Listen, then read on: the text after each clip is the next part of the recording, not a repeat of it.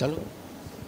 लोकमान्य सेवा संघ शरदविनायक साठे आमचे वैद्यकीय केंद्र कृष्णाबाई खंबतकोण बालक पालक केंद्र आणि न्यूतन गुळगुळे फाउंडेशन यांच्या संयुक्त विद्यमाने आम्ही दिव्यांग मुलांचे प्रश्न परिस्पर्श या सदराखाली पाच गुं पुष्प गुंफणार आहोत.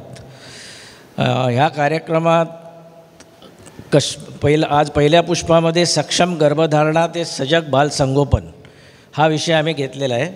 पुढचा विषय असेल दिव्यांगाचे सर्वसमावेशक शिक्षक.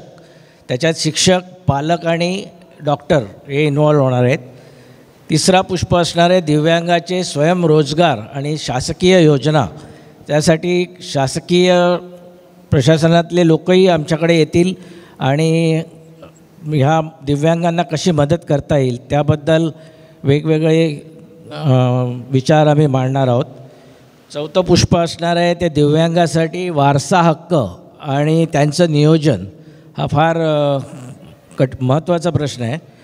आणि शेवटच्या पुष्पामध्ये आम्ही दिव्यांगासाठी कार्यरत असलेल्या महाराष्ट्रातल्या सगळ्या कार्यसंस्थांना एकत्रीकरण करून इथे संमेलन भरवणार आहोत. आजच्या पहिल्या ह्याच्यामध्ये पुष्पामध्ये आपण सुरुवात करतो आहोत. पहिलं गर्भधारणा पर्यंत जो जे काय असेल ते मी डॉक्टर प्रश्न विचारणार आहे त्या डॉक्टर साधना घैसास ज्या जिनेटिस्ट आहेत त्यांना विचारणार. नंतर गर्भावस्था आणि प्रसूतीच्या वेळेला उद्भवणारे जे प्रश्न असतील ते मी डॉक्टर रश्मी फडणवीसांना विचारणार आहे. आणि जन्मानंतर बालसंगोपनाच्या वेळेला ह्या मुलांचा जो काय प्रॉब्लेम येतात त्याच्याबद्दल जे प्रश्न येतील ते मी डॉक्टर वैद्य पेडियाट्रिशियन यांना विचारणार आहे. तर आपण कार्यक्रमाला सुरुवात करूया. विवाहपूर्व आरोग्य तपासणी कोणत्या अनुषंगाने तुम्ही सम ॲडवाईस करता? सर्वप्रथम मी लोकमान्य सेवा संघ आणि गुळगुळे फाउंडेशन यांचं आभार मानते की त्यांनी मला आज इथे या कार्यक्रमासाठी आमंत्रण दिलं आहे. आता पहिला प्रश्न यांनी विचारला आहे की लग्नाच्या वेळेला काय गोष्टी बघायला लागतात? तर आता आपल्या सम समाजामध्ये लग्न म्हटलं की दोन कुटुंबांचं एकत्र येतं. तर त्याच्यासाठी आधी पहिलं अरेंज मॅरेज करताना आपण पत्रिका बघतो की छत्तीस गुण जुळत आहेत की तीस गुण गुळ जुळत आहेत हे वगैरे असे. किंवा त्या मुलाची मुलीची माहिती वगैरे काढतो. पण ह्याच्यापेक्षा मी एक आणखीन सजेस्ट करीन की तुम्ही जेनेटिक पत्रिका बघा. तर जेनेटिक पत्रिका म्हणजे काय? तर पूर्ण दोन तीन पिढ्यामध्ये काय प्रॉब्लेम्स त्यांच्यामध्ये आहेत. किंवा त्या मुलामध्ये काही प्रॉब्लेम आहे त्याच्या बहीण भावंडांमध्ये किंवा त्यांच्या चुलत भावंडांमध्ये ह्या कुठे काही प्रॉब्लेम्स आहेत का ते आधी बघावे. त्याच्यानंतर सगळ्यात आणि हे कशासाठी करावं? तर आपल्याला फॅमिली ट्री म्हणतो जी मी इथे दाखवले आहेत फॅमिली ट्री हे एक्सप्लेन मी नंतर करीन बऱ्याच गोष्टी. तर थॅलेसिमिया वगैरे आपल्याला तुम्हाला लोकांना माहिती असेल डि डिशन मस्टु मस्क्युलर डिस्ट्रॉफी वगैरे. तर ह्या सगळ्या गोष्टी असतात ह्या पटकन माहिती नसतात. जर फॅमिलीमध्ये एखादी अशी केस असेल तर त्या पर्टिक्युलर फॅमिलीमध्ये ते सगळ्यांची टेस्ट करून बघायला पाहिजे. जेनेटिक टेस्ट करणं फार गरजेचं आहे. कारण आपल्याला काही काही गोष्टी अवॉइड करता येतात की ज्या पुढे येऊ नयेत. कारण प्रत्येकालाच वाटत असतं की आपलं मूल हे व्यवस्थित नॉर्मल असावं. की दिव्यांग मूल असणं हे फार प्रॉब्लेमॅटिक असतं. त्या मुलाच्या दृष्टीने पण आणि फॅमिलीच्या दृष्टीने पण. तर त्याच्यासाठी हे महत्त्व आणि त्याच्यात आणखीन एक महत्त्वाचं म्हणजे पहिलं लग्न जवळताना बघावं. साधारण थॅलेसेमिया असा थॅलेसेमिया हा पटकन कसा ओळखावा? तर नेहमी ब्लड हिमोग्लोबिन किती आहे ते बघावं. ते जर आठ ते दहा ह्या रेंजमध्ये असेल तर त्यांनी थॅलेसेमियाची टेस्ट करून बघावी. म्हणजे ते थॅलेसेमिया पॉझिटिव्ह असतील असं नाही पण ते कॅरियर असू शकतं. म्हणजे त्यांच्या ह्या गोष्टी कशा? दोन जीन्स एकत्र आले तरच त्या हो त्या बाळामध्ये दिसू शकतं थॅलेसेमिया. त्याच्या त्याच्यासाठी जर तुम्ही हे टेस्ट करून बघितली तर त्याची कॅरियर स्टेटस बघता येतं. जर का त्या मुलामध्ये किंवा मुलीमध्ये थॅलेसेमिया जीन असेल तर जेव्हा लग्न जमवतात तेव्हा दुसरा जो पार्टनर असेल त्याच्यामध्ये बघण्याची गरज आहे की त्याच्यामध्ये पण ते कॅरियर स्टेट आहे का? ते जर असेल तर शक्यतो लग्न करू नये.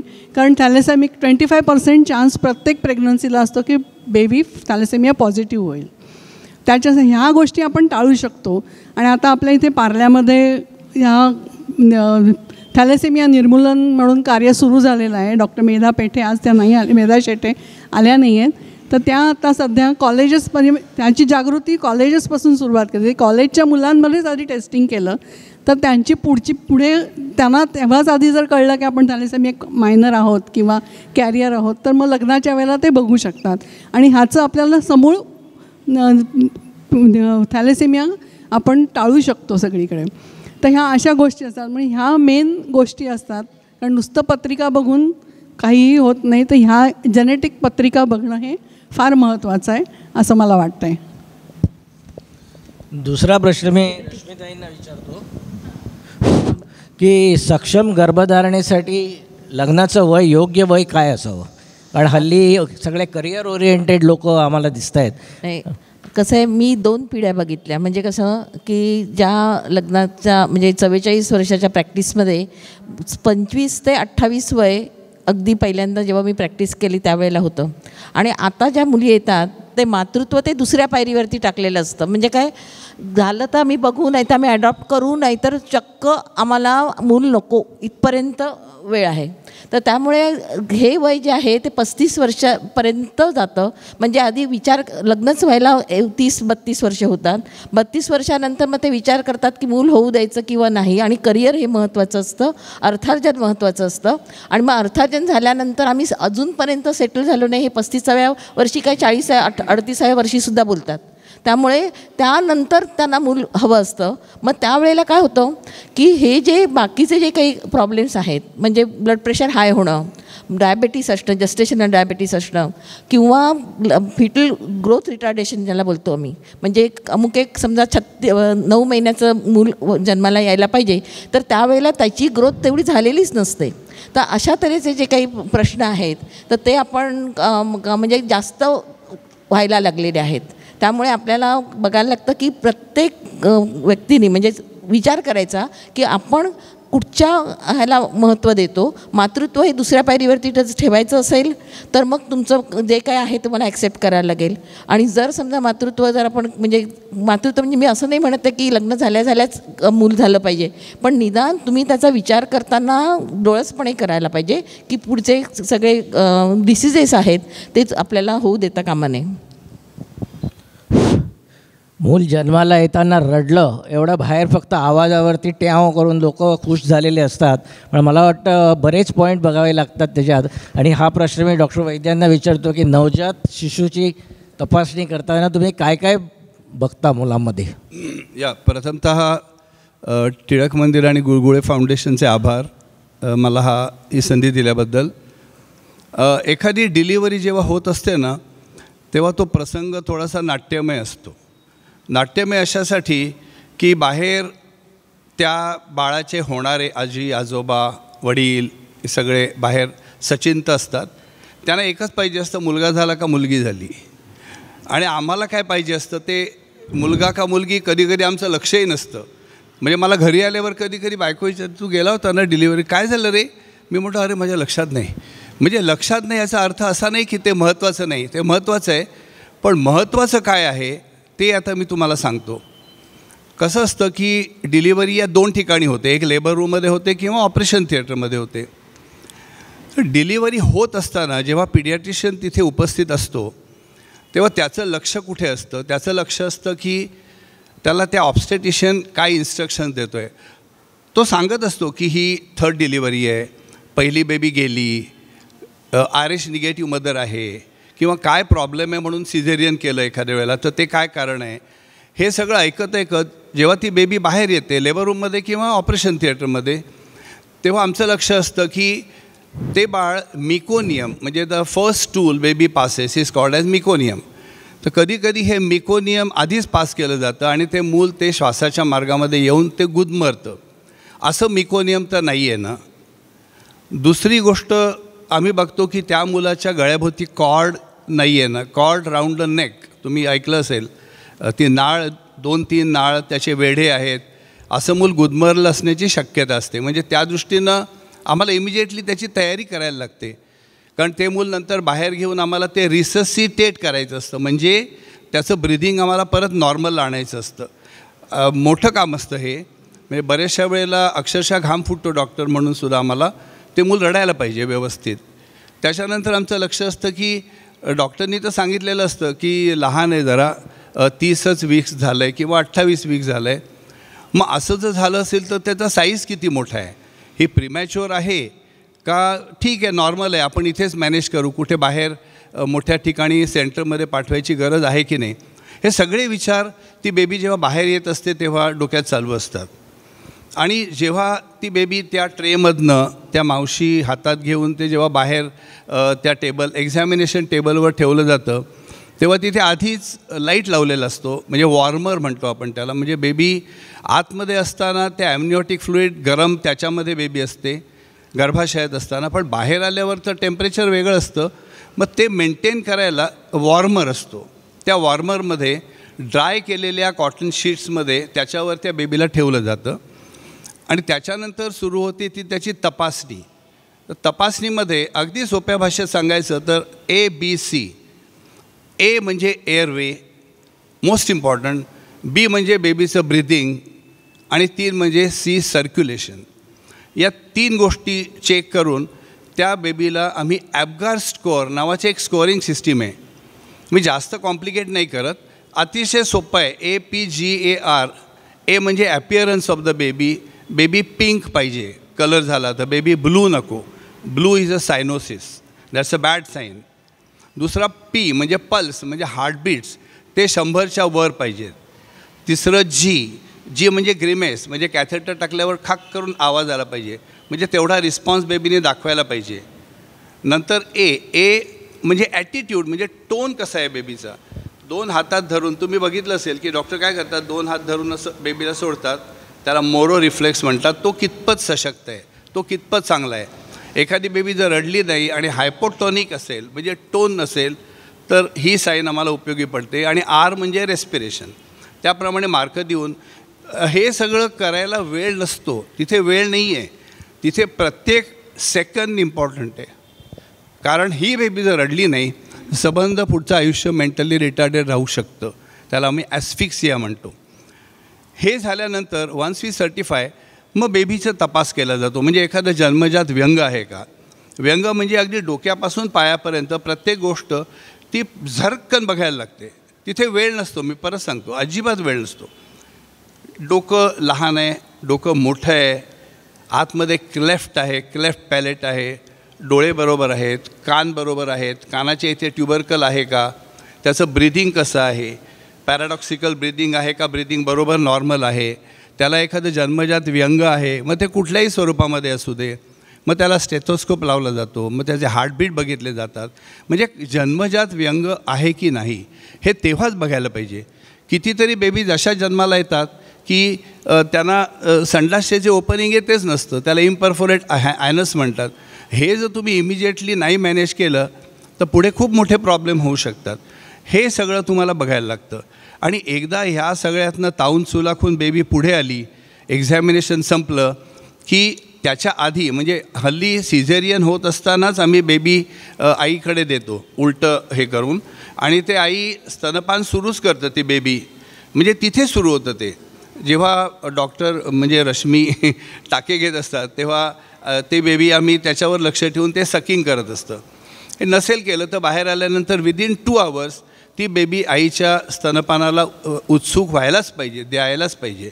हे बघतो. मग त्याचे उत्सुक असलेले नातेवाईक बाहेर आहेत. त्यांना बोलावून पहिलं सांगायला लागतं की फोटो बिटो काढत बसू नका. दॅट इज बॅड म्हणजे लगेच काय लगेच लगेच ती गर्दी आणि तुम्हाला माहिती काय सांगते काय सीन असतो. स्तनपान देताना तुम्ही म्हणालात ना तर स्तनपान हे जे रेग्युलर करायचं असतं तर ते पहिल्यांदा स्तनपान येत नाही म्हणून कित्येक मला तो तर खूप कॉमन प्रॉब्लेम आहे नंतरचा. म्हणजे हे सगळं झाल्यावर फादरला बोलावून कोण जे जबाबदार आहेत त्यांना बोलावून सांगायला लागतात काही काही गोष्टी. मोबाईल लगेच मोबाईल सुरू होतो. मग हे सगळं टाळायला पाहिजे. म्हणजे ॲज अ पिडियाटिशियन ही माझी ड्युटी असते. काही कपल्स अनलकी पण असतात. त्यांना वा लेडीजना काही वेळेला रिकरंट मिसकॅरेज किंवा वारंवार गर्भपात होतात. एक दोन तीन वेळासुद्धा स्टा किंवा काही वेळेला नवजात बालक जे जन्माला येतं ते मृत बालक जन्माला येतं. स्टील बर्थची हिस्ट्री असते. अशा दापत्याने कोणत्या चाचण्या करायला पाहिजे? हा प्रश्न मी साधनाने तुम्हाला विचारतो. आता जेव्हा असं ॲबॉर्शन्स वगैरे होतात तेव्हा पहिली लोकांची भीती की काहीतरी या बाईमध्ये प्रॉब्लेम आहे. तर हे मुख्य डोक्यातला विचार पहिला काढला पाहिजे की प्रत्येक वेळेला बाईमध्येच काही प्रॉब्लेम असतो असं नाही. तर हे जेव्हा ॲबॉर्शन होतं तेव्हा ॲबॉर्टस मटेरियल आम्ही चेक करतो की त्याच्यामध्ये काही प्रॉब्लेम आहे का? क्रोमोझोमल प्रॉब्लेम आहे का? आमच्या ऑब्झर्वेशनप्रमाणे ऑलमोस्ट फिफ्टी पर्सेंट जेव्हा ॲबॉर्शन्स होतात तेव्हा त्याच्यामध्ये काहीतरी क्रोमोझोमल ॲबनॉर्मॅलिटी असतात तर क्रोमोझोमल ॲबनॉर्मॅलिटी म्हणजे काय? तर आपल्या प्रत्येकाच्या शरीरात फॉर्टी सिक्स क्रोमोझोम्स असतात. तर त्याच्याऐवजी एखादा क्रोमोझोम कमी झाला किंवा जास्त झाला किंवा एखादा छोटा पार्ट एखाद्या क्रोमोझोमचा निघाला किंवा त्याच्यात ॲड झाला तर हे जर झालं तर ते ॲबनॉर्मल असतं. म्हणून आम्ही नेहमी म्हणतो असं जर काही ॲबनॉर्मॅलिटी मिळाली तर it's a good sign take it positive की ते मूल ॲबनॉर्मल होतं म्हणून ते ॲबॉर्ट झालं. त्यामुळे त्याचं टेन्शन घेऊ नका. त्याच्यावरती पुढे उपाय असो. तर जेव्हा असं काही होतं तेव्हा आम्ही सांगतो की पहिलं नवरा बायकोंचं कॅरिओटायपिंग करायचं. कॅरिओटायपिंग म्हणजे काय? क्रोमोझोम ॲनालिसिस आम्ही करतो. की त्याच्यामध्ये काही प्रॉब्लेम आहे का? किंवा जेव्हा एग आणि स्पर्म फॉर्मेशन होतं तेव्हा फॉर्टी सिक्स क्रोमोझोमचे ट्वेंटी थ्री ट्वेंटी थ्री असे दोन प्रकारमध्ये होतं. आणि जेव्हा परत यु स्पर्म आणि एग तेव्हा ते फॉर्टी सिक्स परत होतं. तर हे जे डि रिडक्शन डिव्हिजन म्हणतो आम्ही फॉर्टी सिक्स ते ट्वेंटी थ्री होतं त्यावेळेला काहीतरी प्रॉब्लेम होतो. तर हा प्रॉब्लेम का होतो? तर त्याचं एक कारण असं आहे की काहीतरी त्या बाईच्यामध्ये किंवा पुरुषामध्ये क्रोमोझोम ॲबनॉर्मॅलिटी आहे. त्याच्यामुळे हे इम्बॅलन्स होतं आणि क्रोमोझोम्स एक जास्त एक कमी होतो. म्हणजे एक फॉर्टी थ्रीच्या ऐवजी ट्वे ट्वेंटी थ्रीच्या ऐवजी ट्वेंटी टू किंवा ट्वेंटी फोर असे येतात. तर हे डाऊन्स बेबी तुम्ही ऐकलं असेल तर त्याच्यामध्ये ट्वेंटी वन नंबरचा क्रोमोझोम हा तीन वेळा येतात प्रत्येकाचे दोन दोन पेअरमध्ये असतात प्रत्येक. हा एक्स्ट्रा येतो एक आणि म्हणून ते डाऊन्स बेबी होते. तर हे प्रॉब्लेम होऊ शकतात. त्यामुळे पहिलं कॅरिओटायपिंग करणं फार महत्त्वाचं आहे. त्याच्यानंतर दुसरं असं होतं की ॲबॉर्शन्स होतात. तेव्हा काही वेळेला बाईला काही इन्फेक्शन्स असतात. म्हणजे टॉर्च रुबेला वगैरे. तर हे खूप घातक असतं की त्याच्यामुळे मूल ॲबनॉर्मल होऊ शकतं आणि ॲबॉर्शन होऊ शकतं. तर ह्याच्यावर तुम्हाला टेस्ट केल्यानंतर ॲटलिस्ट ट्रीटमेंट तरी आहे पण जेनेटिक ह्याच्यामध्ये कुठलीही ट्रीटमेंट नाही आहे त्यामुळे हे महत्त्वाचं असतं. त्यामुळे आता बाळ गेलं आहे तर आता त्याचं काय करायचं? उगाच कशाला त्याचं काय टेस्ट करतं हे करू नये. तर त्याचं टेस्टिंग करावं की खरंच प्रॉब्लेम त्याच्यामध्ये आहे का? का दुसऱ्या काही गोष्टी आहेत? हे आपल्याला त्याच्यामुळे कळतं. तर हेच गु बघायला लागतं. त्यामुळे हा बाकीच्या टेस्ट वगैरे ब्लडच्या असतील तर रश्मीताई आणखीन समजावून सांगतील. त्यात एन ए वगैरे ह्या सगळ्या गोष्टी अँटी न्यूक्लिअर अँटीबॉडीज त्याच्यामुळे बॉडी रिॲक्ट करते आणि ते बाळ बाहेर पण गर्भपात होतो त्याचा. तर ह्या सगळ्यांवरती पुन्हा ट्रीटमेंट असते तुम्ही काहीतरी इलाज करू शकता. तर ह्या गोष्टी बघायला लागतात. त्यामुळे blood test karyotyping is very important आणि काही फॅमिलीमध्ये काही असेल प्रॉब्लेम तर त्याच्यामुळे सुद्धा गर्भपात होऊ शकतात. त्यामुळे फॅमिली हिस्ट्री ही खूप महत्त्वाची आहे आणि क्रोमोझोम ॲनालिसिस हे फार महत्त्वाचं आहे. एवढंच. स्टील बर्थ किंवा मिसकॅरेजमध्ये एवढ्या सर्व टेस्टिंग कराव्या लागतं पण नॉर्मली डॉक्टर रश्मींना मी प्रश्न विचारतो की गर्भारपणी तुम्ही कोणत्या रक्त चाचण्या चाचण्या ॲडवाईस करता? नाही तत्पूर्वी रुटीनली तत्पूर्वी साधना त्यांनी जसं सांगितलं ना रिकरंट मिसकॅरेजेस होतात. तर मला कामा हॉस्पिटलमध्ये सहा वेळा गर्भपात झालेली स्त्री आली. आता सातव्या वेळेला ही गरोदर आहे म्हटल्यानंतर आमच्याच पोटात गोळाला की आता ही कशाला आता गरोदर झालेली आहे? पण त्यावेळेला प्रत्येक कामा हॉस्पिटलमध्ये कसं असतं युनिटचं जरासं क्रेडिट असतं.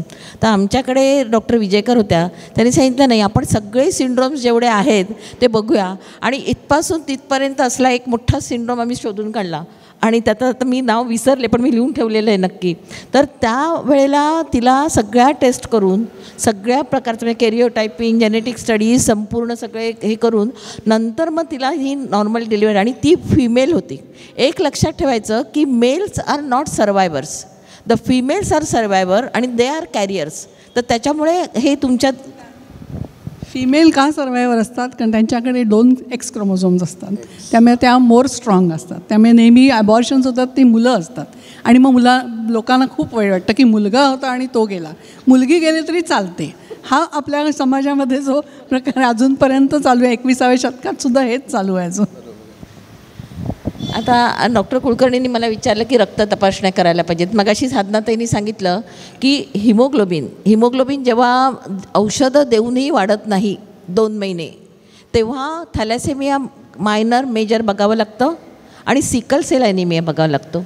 कारण जर सिकल सेल ॲनिमिया असेल तर त्या काही काही गोष्टी अशा आहेत ना की आधी जर तुम्हाला कळल्या ना तर तुम्ही त्याच्यावरती उपाय करू शकता. आणि त्याप्रमाणे आम्ही सांगतो. म्हणजे नसेल थॅलॅसेमियामध्ये की हिमोग्लोबिन नाही वाढत आहे पण ठीक आहे मग त्या पद्धतीने दहापर्यंत तरी आम्ही क- प्रयत्न करतो की तिथपर्यंत नेऊ शकतो की नाही. तसंच प्लेटलेट काउंटसुद्धा महत्त्वाचं आहे. हल्ली काय झालं आहे की डेंग्यू आणि चिकनगुनिया वगैरे ना इवन प्रेग्नन्सीमध्ये होतात. आणि मग त्यावेळेला प्लेटलेट काउंटची म्हणजे जर कमी कमी होत गेला तर पुढे आम्हाला पी पी एच म्हणजे डिलिव्हरी झाल्यानंतर जे ब्लिडिंग होतं ना ते कधीच क म्हणजे कंट्रोल होण्याच्या पलीकडे असतं. म्हणजे जसं गायनॅकमध्ये एंडोमेट्रियोसिस आहे तसं डिलिव्हरीच्या ह्याच्यामध्ये पी पी एच हा अतिशय वाईट प्रकार आहे की त्यामुळे स्त्रीचा मृत्यू होऊ शकतो. तर ते आम्हाला टाळण्यासाठी प्लेटलेट काउंट बनव. नंतर युरिन जे रुटीन आपण करतो तर सगळ्यांना काय वाटतं काय हे रोजच्या रोज म्हणजे प्रेग्नन्सी म्हणजे राहिली राहिल्यानंतर नुसता टेस्ट करायला सांगतात. म्हणजे ह्यांचं आणि पॅथॉलॉजिस्टचं काहीतरी असेल. तर तसं नसतं. त्याच्यामध्ये असं आहे की युरिन कल्चर करणं हे जास्त महत्त्वाचं असतं. कारण कल्चर जर केलं आणि त्यात आपल्याला एक्झॅक्ट ऑर्गॅनिझम्स कळले तर प्रेग्नन्सीमध्ये सगळेच अँटीबायोटिक्स चालत नाहीत. तर ते स्पेसिफिक अँटीबायोटिक्स त्यावेळेला आम्ही देऊ शकतो. तसंच ब्लड शुगर जी फास्टिंग आणि पोस्ट प्रेंडियल आहे. आता नवीनच मला डॉ डॉक्टर वैद्यांनी असं काही सांगितलं की एका कॉन्फरन्समध्ये आम्ही डिस्कस करत होतो तेव्हा की एकशे दहा हजारपेक्षा जास्त जर जेवल्यानंतरची शुगर असेल आपण जेव्हा टेस्ट करतो तेव्हा तर त्या बाईला त्यानंतर म्हणजे पुढच्या सातव्या महिन्यात किंवा आठव्या महिन्यात नक्कीच जस्टेशनल डायबिटीस होऊ शकतो. म्हणजे हा मधुमेह तुम्ही आधी प्रेडिक्ट करू शकता त्याप्रमाणे तुम्ही डाएट कंट्रोल करू शकता औषधांची गरज लागत नाही. कारण प्रेग्नन्सीमध्ये औषधं टॅबलेट्स शक्यतो आम्ही देत नाही आता मेटमॉर्मिन देतो सध्या पण तरीसुद्धा इन्सुलिनवरती ठेवायला लागतं. तर ते आपण टाळू शकतो. आणि इन्सुलिनवरती ठेवलं की लगेच हायपोग्लायसिमिया झालं का बाळ जाऊ शकतं. म्हणजे हा सगळा जो हे आहे की आपल्या आपण कुठपर्यंत कंट्रोल करू शकतो त्याला त्याची परीक्षा असते. तसं तसंच V D R L H I V H I व्हीमध्ये नंतर आम्ही हिपॅटायटिस बी ऑस्ट्रेलिया अँटीजेन नंतर हिपॅटायटिस सी असे सगळे आम्ही बघतो. एच आय व्हीवरनं मला आठवण झाली की ए पूर्वी म्हणजे जवळजवळ वीस पंचवीस वर्षापूर्वी एच आय व्ही पॉझिटिव्ह म्हटलं का लोक एकदम घाबरून जायचे. की एच आय व्ही पॉझिटिव्ह म्हणजे काहीतरी झालं. आणि गंमत काय झाली की कधी नवऱ्याने कधीच एच आय व्ही केलेलं नव्हतं. माई आली तिचा एच आय व्ही पॉझिटिव्ह निघाला. त्याबरोबर त्यांनी संशयाने तिच्याकडे बघायला सुरुवात केली. म्हटलं अरे एच आय व्ही पॉझिटिव्ह जे आहे आपण तुमचंही करून बघूया ना. मग त्यांचा पॉझिटिव्ह आल्यानंतर त्याला कळलं काय झालं ते. पण एवढं करून जेव्हा तुम्ही हे दुसऱ्या किंवा तिसऱ्या महिन्यात करता तेव्हा त्याच्यासाठी औषधं आहेत. आणि त्या औषधांनी बेबी मात्र एच आय व्ही निगेटिव्ह झाली. म्हणजे ती आपल्या समाजामध्ये ते कॅरियर राहिलेलं नाही आहे एच आय व्ही पॉझिटिव्ह तर हे महत्त्वाचं आहे. म्हणून एच आय व्ही करताना आत्तासुद्धा विचारतात लोक एच आय व्ही करायची काय जरूर आहे?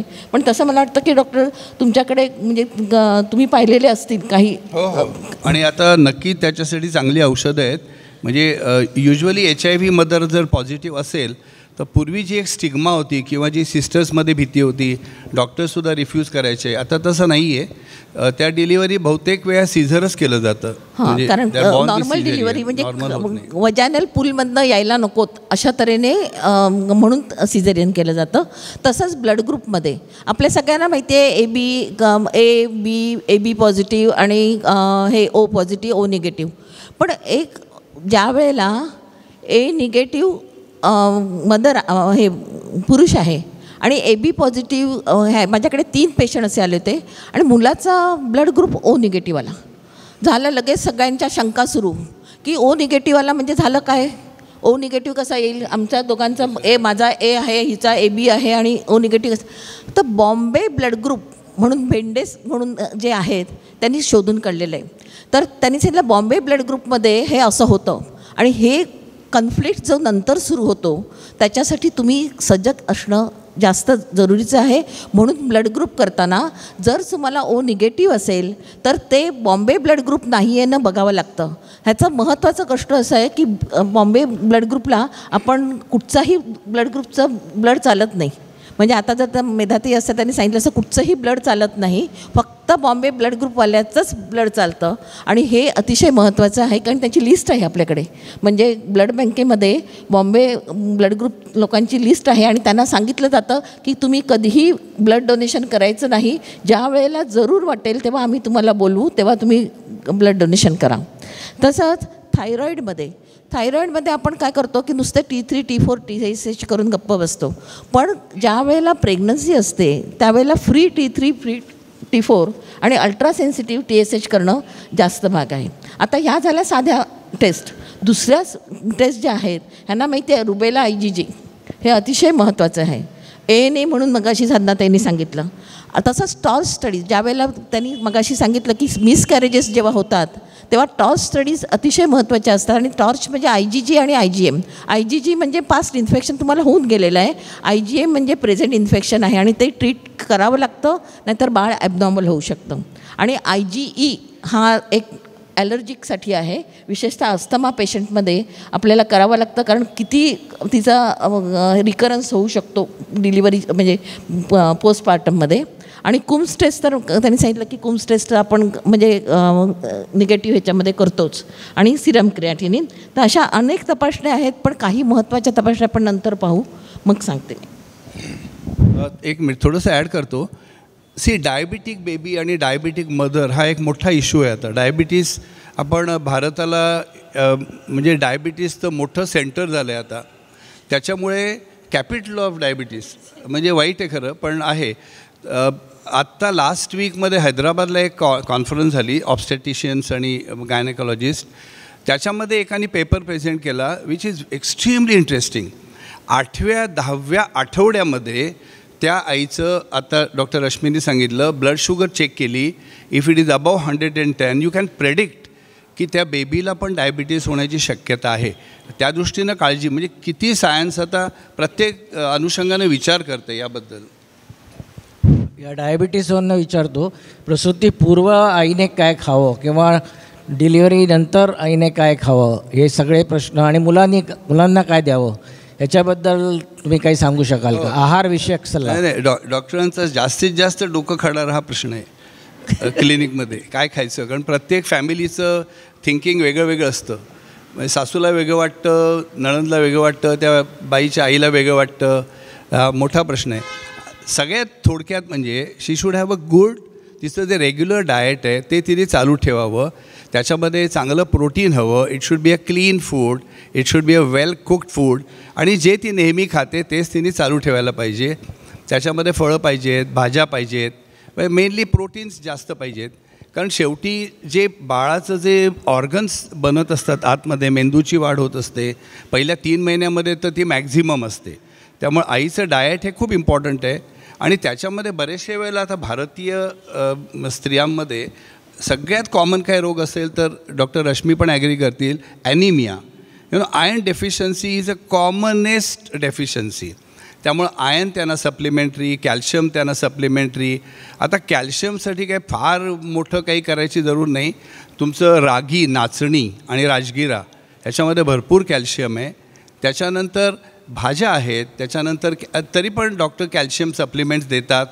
फोलिक ॲसिड फोलिक ॲसिडबद्दल असं आहे की जे जन्मजात व्यंग होतात क्लेफ्ट पॅलेट किंवा अशी जी काही तोंडाची व्यंग आहेत त्या सगळ्याला फोलिक ॲसिड हे प्रिव्हेंटिव्ह म्हणून दिलं जातं.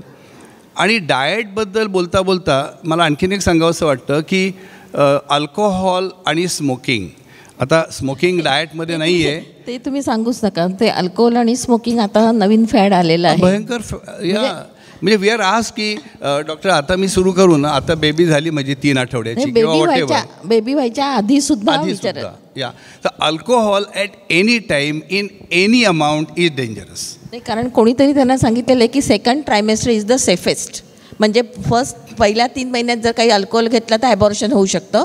पण से सेकंड ट्रायमेस्टर म्हणजे चौथ्या महिन्यापासून सहाव्या महिन्यापर्यंत आम्हाला काही होत नाही काही घेतलं तरी. हो.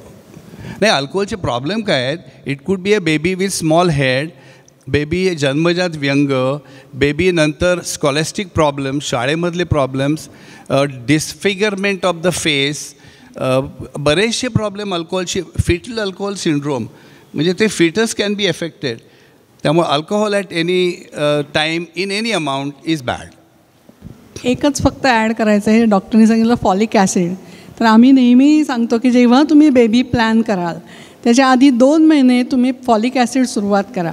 तर फॉलिक फॉलिक ॲसिडचं काय असतं की त्याच्यामुळे तुम्ही एन टी डी म्हणतो म्हणजे न्युरल ट्यूब डिफेक्ट म्हणजे काही जणांचं ब्रेन इथे उघड ओपन असतं किंवा मणका जो असतो तो ओपन असतो किंवा त्याच्यावर ट्युमर असतो. तर ह्या गोष्टी तुम्ही जर फॉलिक ॲसिड व्यवस्थित तुमचं पहिल्यापासून जर असेल तर टाळू शकतो. कारण हा जो डिफेक्ट आहे हा पहिल्या आठ दिवसामध्ये होतो. त्यावेळेला तुम्हाला माहिती पण नसतं की तुम्ही प्रेग्नंट आहात. त्यामुळे जेव्हा तुमची जर फॉ फॉलिक ॲसिडची लेवल कमी असेल तर हे प्रॉब्लेम्स होऊ शकतात.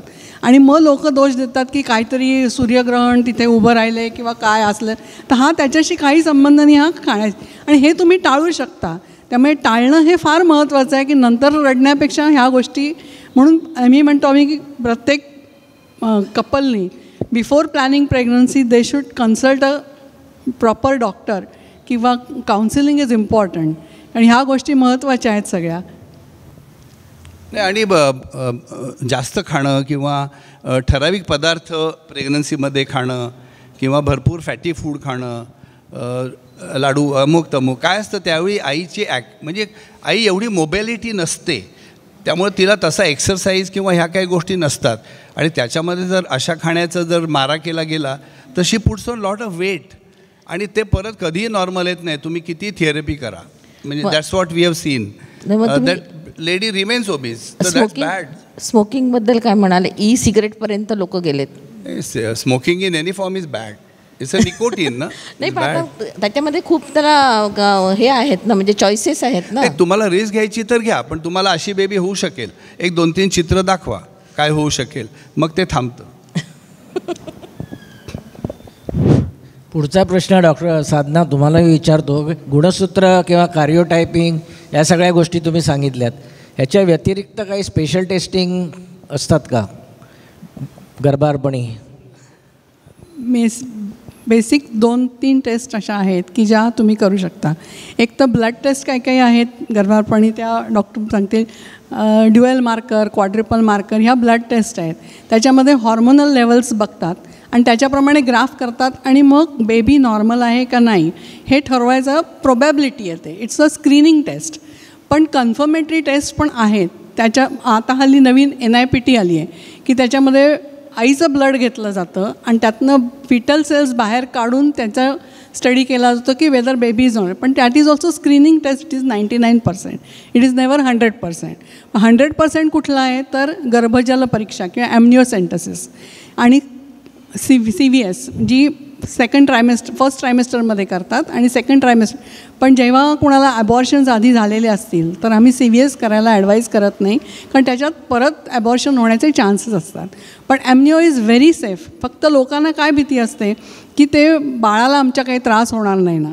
तर त्या ही टेस्ट करताना काय करतात की अंडर सोनोग्राफी सगळी ही टेस्ट केली जाते. पहिल्यांदा बेबीचे मुवमेंट्स बघितल्या जातात. कुठल्या साईडला बा बेबी लेफ्ट साईडला आहे राईट साईडला आहे वरती खालती कुठे आहे?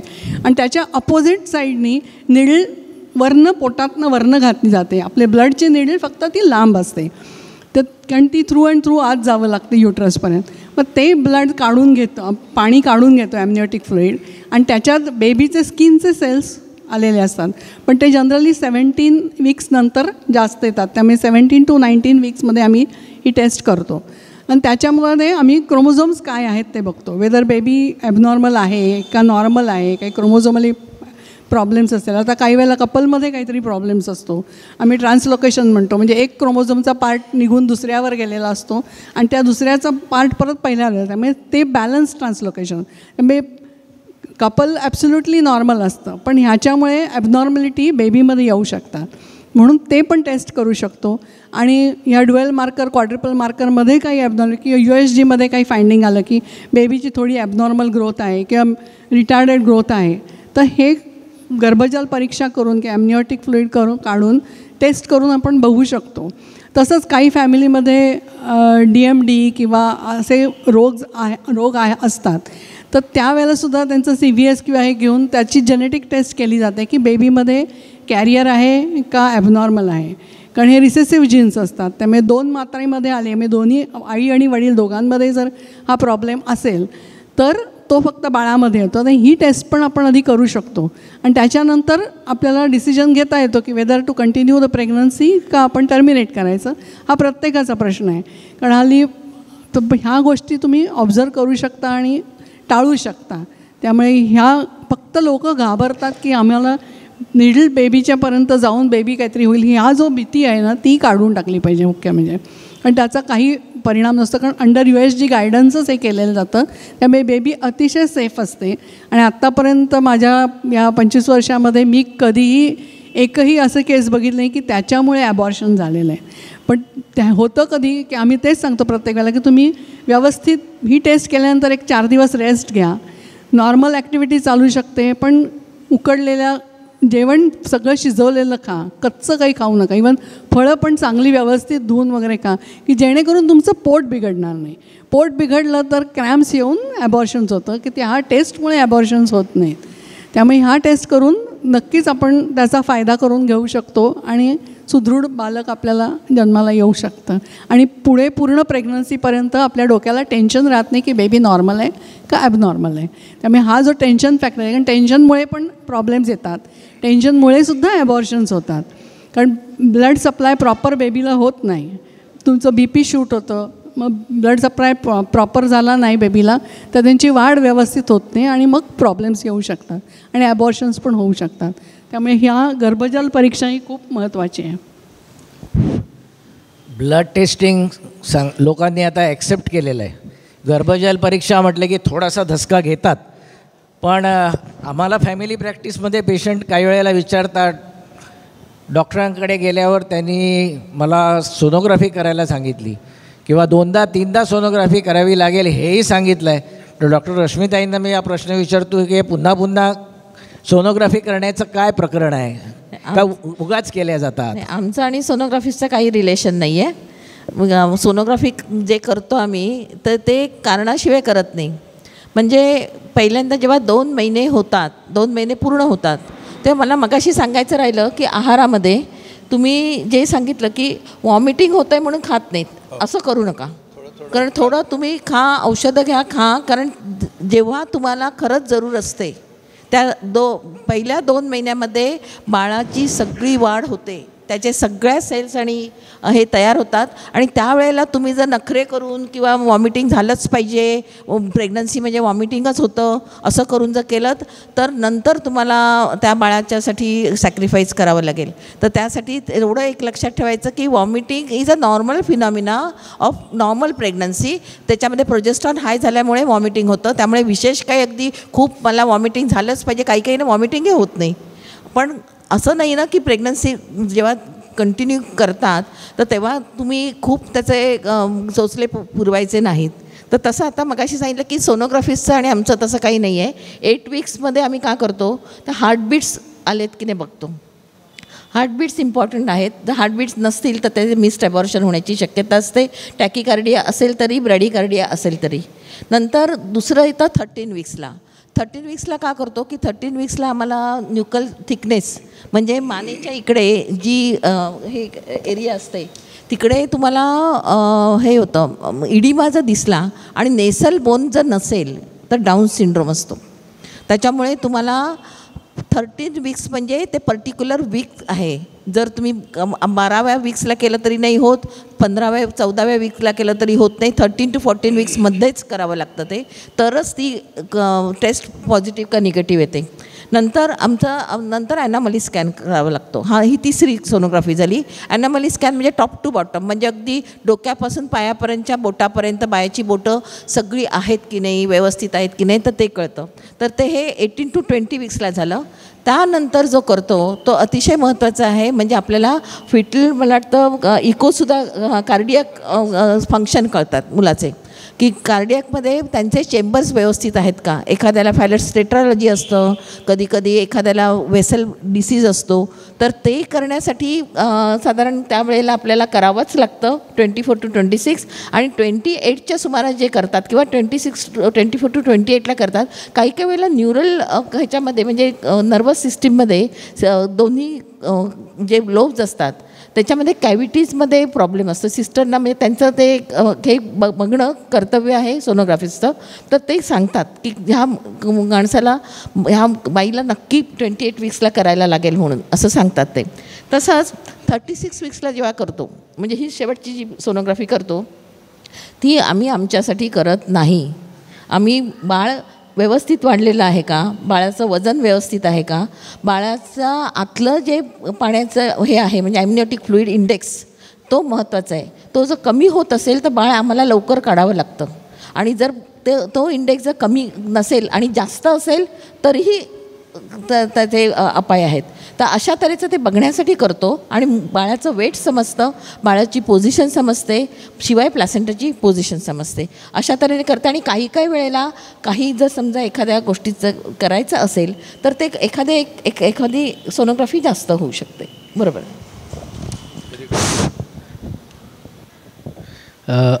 ही वर्ल्ड वॉरच्या वेळेला हिरोशिमा नागासाकीला जे बॉम्ब टाकले गेले आणि त्याच्यानंतर कित्येक वर्ष मुलांमध्ये डिफेक्ट दिसून आले. त्याच्यानंतर जी मुलं जन्म जन्माला आली किंवा आपल्या इकडे भोपाळ गॅस ट्रॅजेडीमध्ये जे काय झालं की बरेच डिफेक्टिव्ह चिल्ड्रन वेअर बॉर्न तर डॉक्टर वैद्य मी तुम्हाला प्रश्न विचारतो असा वातावरणाचा काही परिणाम होतो का?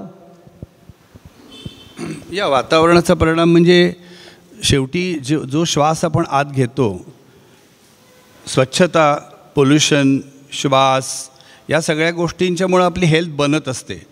या सगळ्या वातावरणाचा परिणाम म्हणजे फिजिकल इमोशनल सगळीच वातावरणं. इमोशनल वातावरण म्हणजे घरचं वातावरण. त्या बाईच्या आजूबाजूला असलेल्या व्यक्ती त्यांचा होणारा त्या आईवरती होणारा प्रभाव. या सगळ्या गोष्टींचा त्या आईवर प्रभाव होत असतो.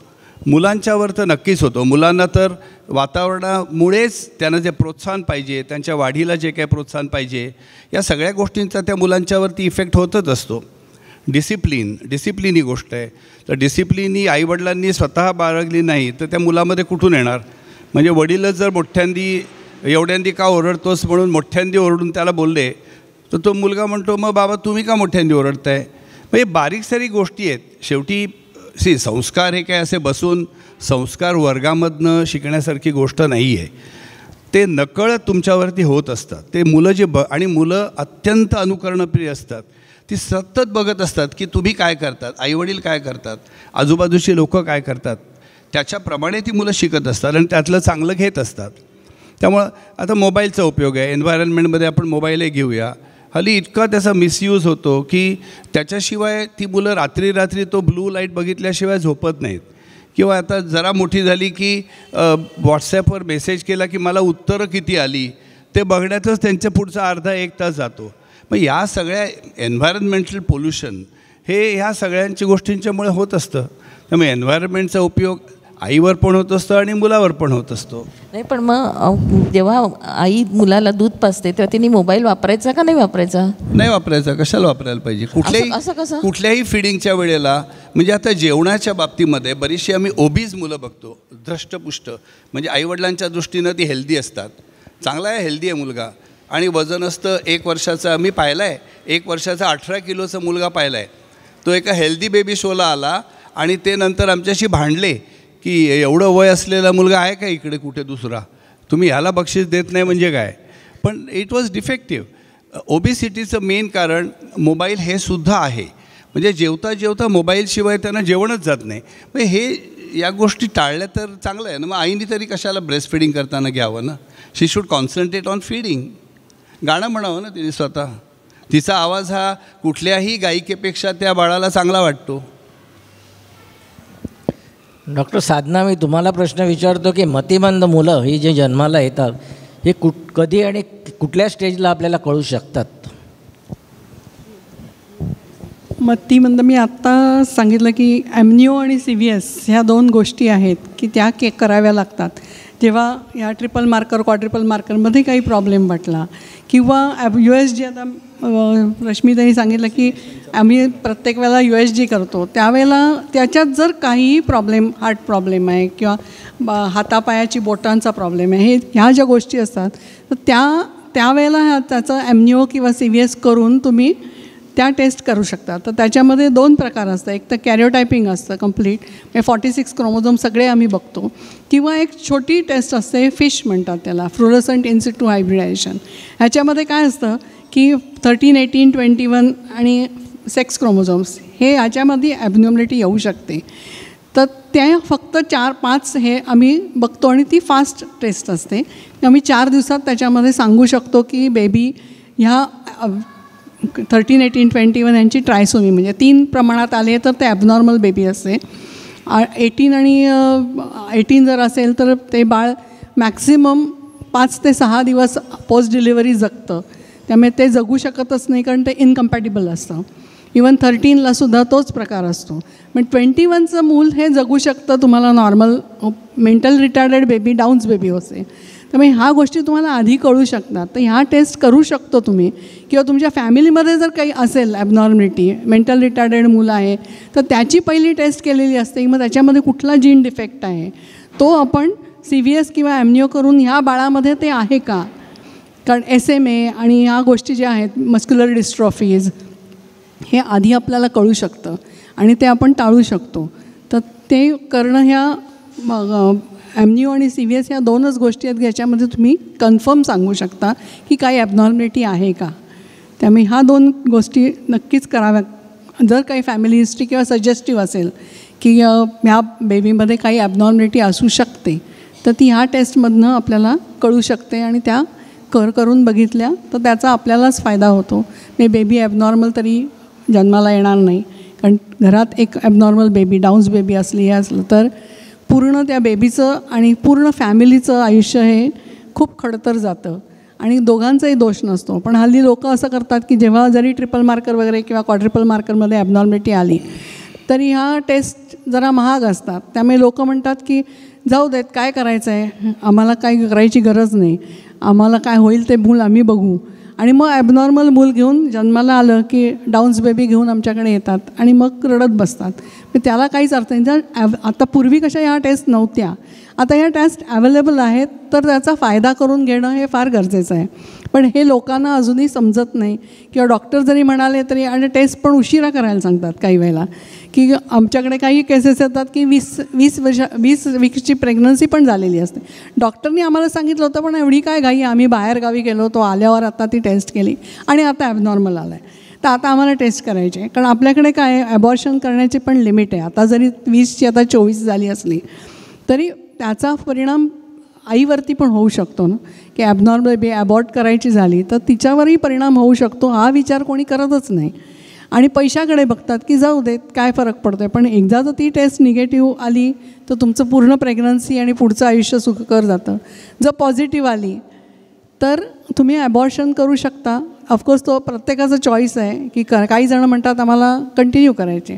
कारण आमच्या धर्मामध्ये आम्हाला सांगितलं आहे की ॲबॉर्शन चालत नाही म्हणून करायचं नसतं.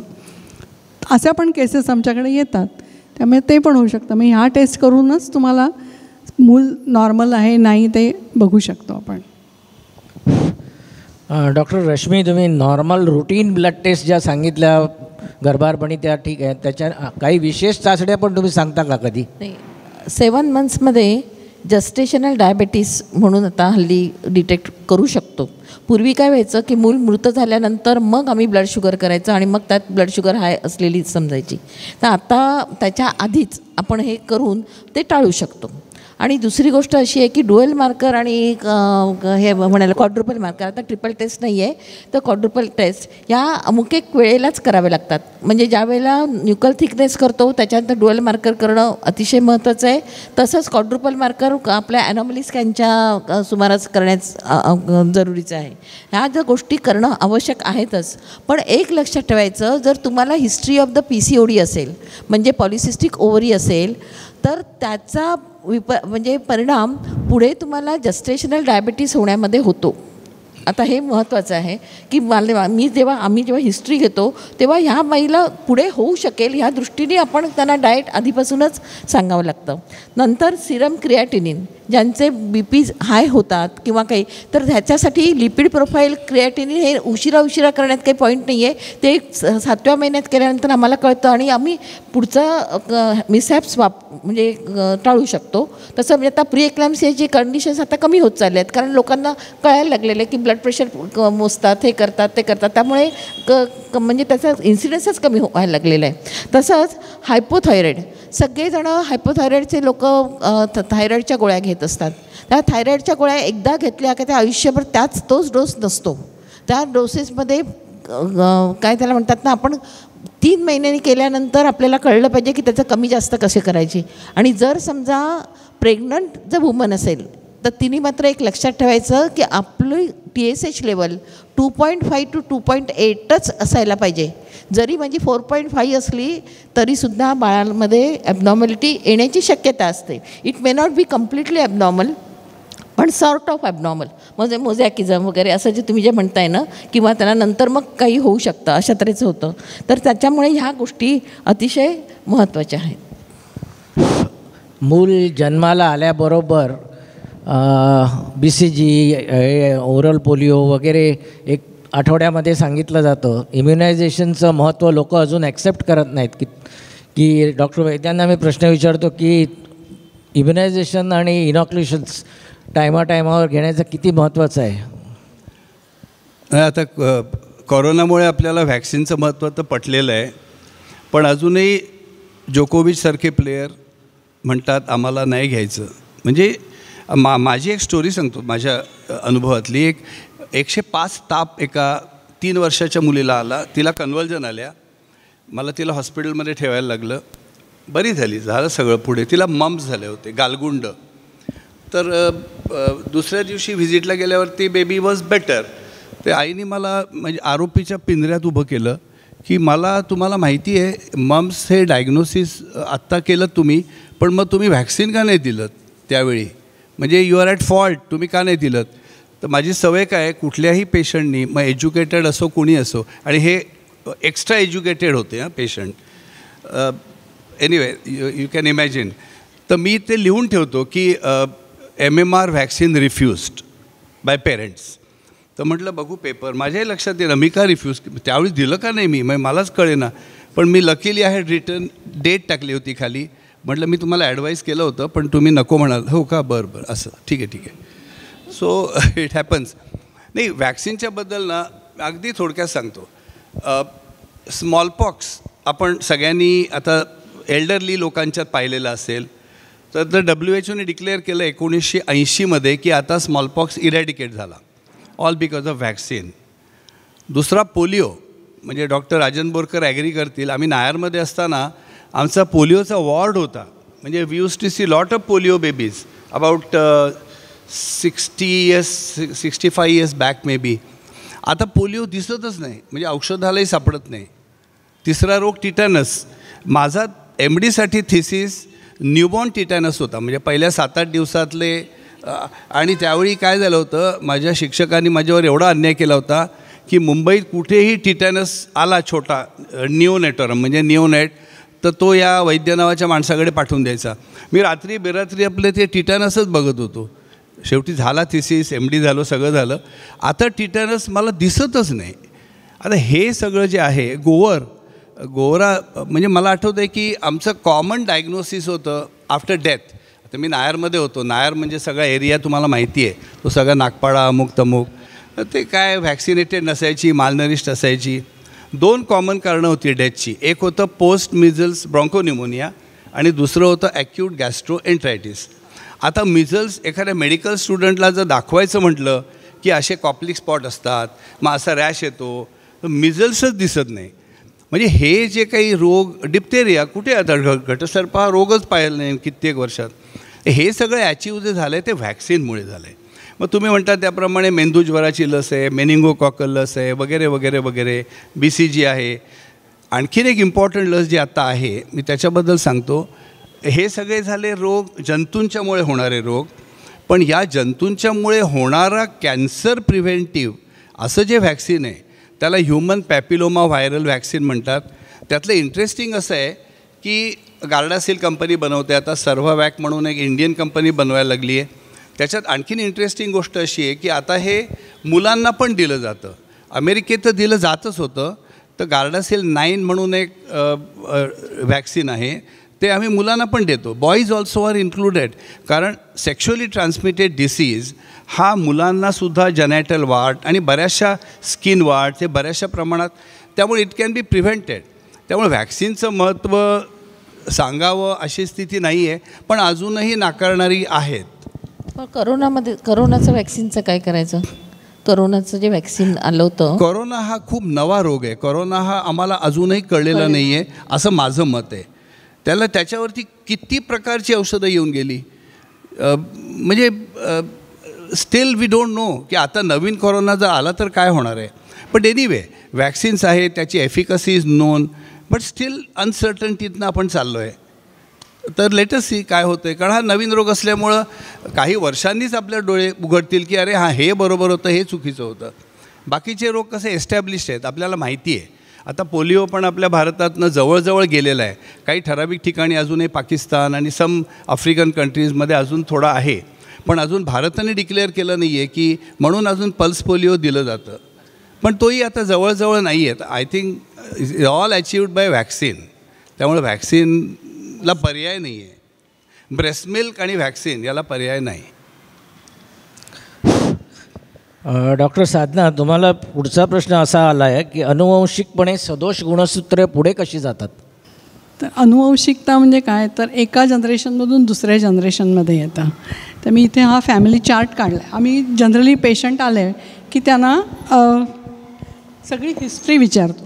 की त्यांच्या त्या ते जर आत्ता मूल ॲव्हल ॲबनॉर्मल असेल तर त्यांची हिस्ट हिस्ट्री पूर्ण विचारली जाते की तुमच्या काका मामामध्ये किंवा भावांमध्ये काही आहे का प्रॉब्लेम तर आता साधंच नेहमीचं उदाहरण म्हणजे घेतलं तर थॅलेसेमिया आता मी सांगितलंच होतं की त्याच्यात आईमध्ये आहे मुलामध्ये मुलीमध्ये दोघांमध्ये कॅरियर आहेत. पण जेव्हा त्यात मुलाचं लग्न कॅरियर मुलीला होतं त्याच वेळेला ते थॅलेसेमिया दिसून येतो. आणि नेहमी थॅलेस त्यामुळे तसं दुसरं हे मस्क्युलर डिस्ट्रॉफी आहे. ह्याच्यामध्ये हे ऑलवेज एक्स लिंक्ड असतं. म्हणजे आई कॅरियर असते. बायकांमध्ये मुलांमध्ये कधीही एक्सप्रेस होत नाही कारण ते एक्स क्रोमोझोमवर असतं आणि बायकांमध्ये दोन एक्स क्रोमोझोम असतात. त्यामुळे ते एक्सप्रेस होत नाही. दुसरा डॉमिनंट असतो तो त्याच्यावर सप्रेस करतो. त्यामुळे बायकांमध्ये कधीही मुलीमध्ये किंवा बायकांमध्ये फक्त कॅरियर स्टेट असते. पण तो जो मुलामध्ये येतो तो जो एक्स क्रोमोझोम ज्याच्यावर हे डिफेक्टिव्ह जीन आहे तो जर त्या मुलामध्ये आला तर तो पॉझिटिव्ह होतो. म्हणजे आणि त्याचं त्याच्यामध्ये मस्क्युलर डिस्ट्रॉफी म्हणजे त्या मुलाला वेगवेगळ्या पायाचे मसल्स जे असतात ते खूप डॅमेज होतात लंग्स डॅमेज आणि त्याचं आयुर्मर्यादा ही मॅक्सिमम पंधरा वर्षापर्यंत असते. म्हणजे ते मूल चालू शकत नाही जिना चढू शकत नाही हळूहळू मी खेळू नॉर्मल ॲक्टिव्हिटी काहीही करू शकत नाही. तर ह्या गोष्टी आपण चेक करू शकतो. जर का एक फॅमिलीमध्ये असं जर मूल जन्माला आलं तर आपण पहिलं कपलचं चेक करायचं आईमध्ये एक जीन आहे का? ते असलं तर तिच्या प्रत्येक प्रेग्नन्सीमध्ये तुम्ही चेक करायचं की त्या बेबीमध्ये हे जीन आलेलं आहे का? मेल असेल तर ते ॲबनॉर्मलच होणार पण फिमेल एक आता एक मुलगी नॉर्मल आहे एक ॲबनॉर्मल ॲबनॉर्मल म्हणजे मुलगी नॉर्मल आहे पण शी इज कॅरियर तर तिला परत मुलं होताना मुलग मुले मुलं झाली तर त्याच्यात फिफ्टी पर्सेंट चान्स असतो की ते जर चांगला क्रोमोझोम आला मुलामध्ये तर ते नॉर्मल होईल. पण जर कॅरियर असेल तो जर एक्स क्रोमोझोम आला तर ते मूल ॲफेक्टेड होईल. तर अशा दृष्टीनेही आपण पुढे तसं तर हिमोफिलिया म्हणून हिमोफिलिया. हे तर चा हल्लीचं उदाहरण आहे. परत आईच असते डॉमिनंट पण ह्याच्यामध्ये सुद्धा तोच प्रकार होतो. मुलामध्ये येतो पण हा इतका फेटल नसतो. तर ते पुढे कॅरी करू शकतात. पण त्यांच्यामध्ये सुद्धा मुली ह्या नेहमी कॅरियर होतात. मुलगा झाला तर तो एक्स क्रोमोझोम येत नाही कारण मुलांमध्ये एक्स आणि वाय असतो. त्यामुळे मुलगा नॉर्मल होऊ शकतो. तर हे अशा दृष्टीने हे आपली एक फॅमिली ट्री जे आम्ही काढतो आणि कसं पुढे पुढे होऊ ज होऊ शकतं की ते बघावं लागतं आपल्याला. तसंच डाऊन्सचं पण आहे. किंवा कपलमध्ये जर का ट्रान्सलोकेशन्स काही असली तर सेम ट्रान्सलोकेशन जर बेबीमध्ये आलं तर ती बेबी नॉर्मल होऊ शकते. पण परत बाई मुलगी असेल तर तिच्या प्रेग्नन्सीच्या वेळेला परत टेस्टिंग गरजेचं आहे.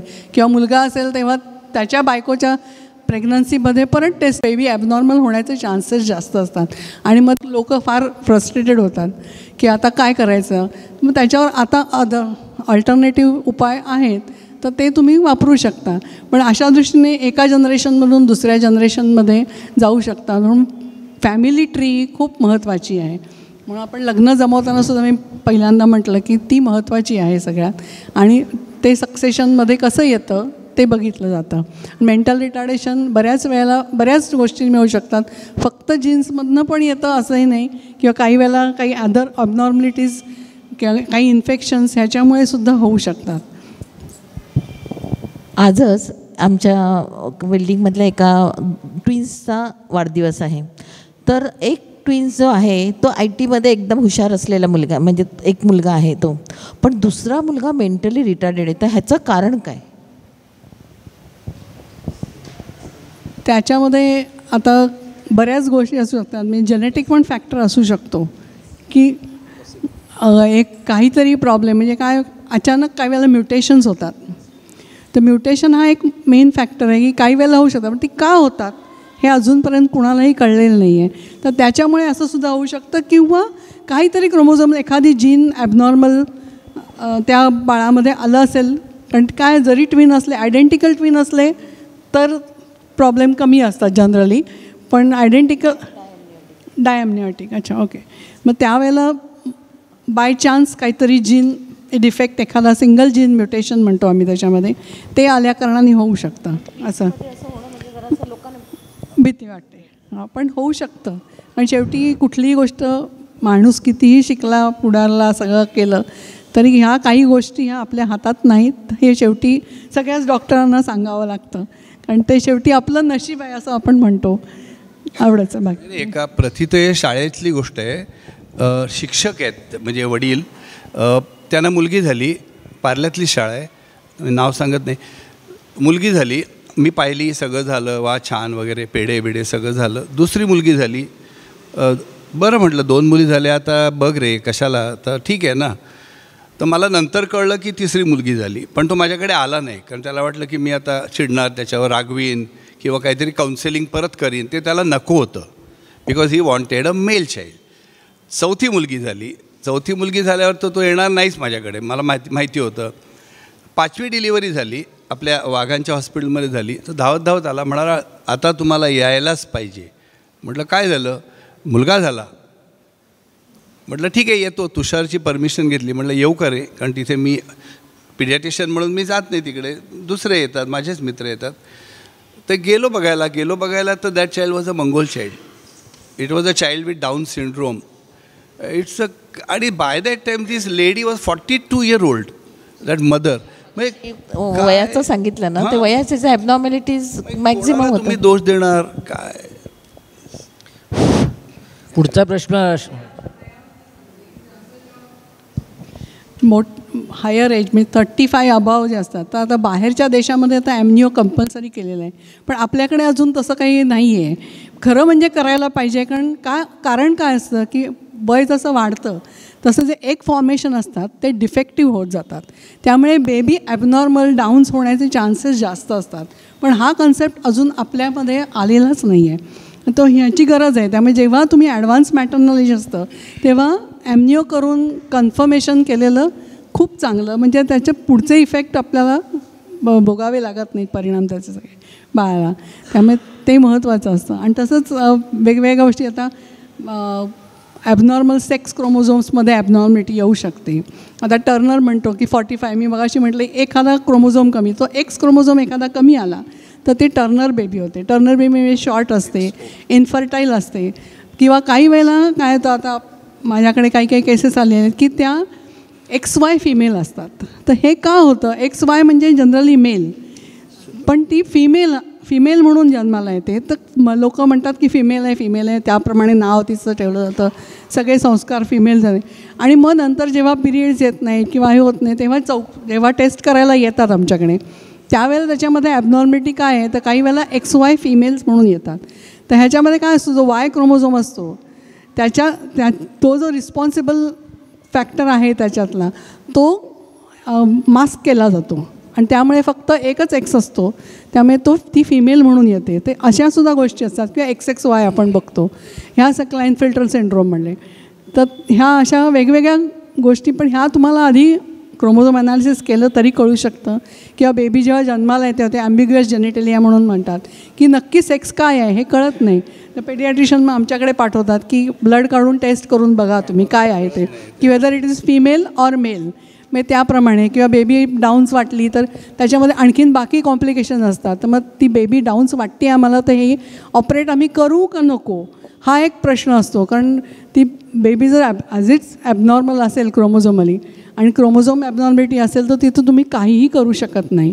ही एक खेदाची गोष्ट आहे. म्हणजे तिथे कोणीच काही करू शकत नाही. तर असं असेल तर मग आप- आम्ही ऑपरेट करू का नको? म्हणजे हा प्रश्न असतो. त्यामुळे हे करणं क्रोमोझोम ॲनालिसिस हे खूप गरजेचं आहे महत्त्वाचं आहे. लग्नाच्या आधीसुद्धा केलेलं फार बरं असं असं आमचं म्हणणं आहे. सक्षम गर्भधारणेसाठी मग सर्वसाधारण काय काळजी घ्यावी आहे डॉक्टर रश्मी तुम्हाला? हां नाही कसं असतं गर्भ गर्भधारणा राहिल्यानंतर पहिल्या सहा महिन्यात तपासणीसाठी जायचं असतं. त्या तपासणीमध्ये मग ती रक्त तपासणी येते बाकीच्या ब्लड प्रेशर येतं वेट गेन होतं.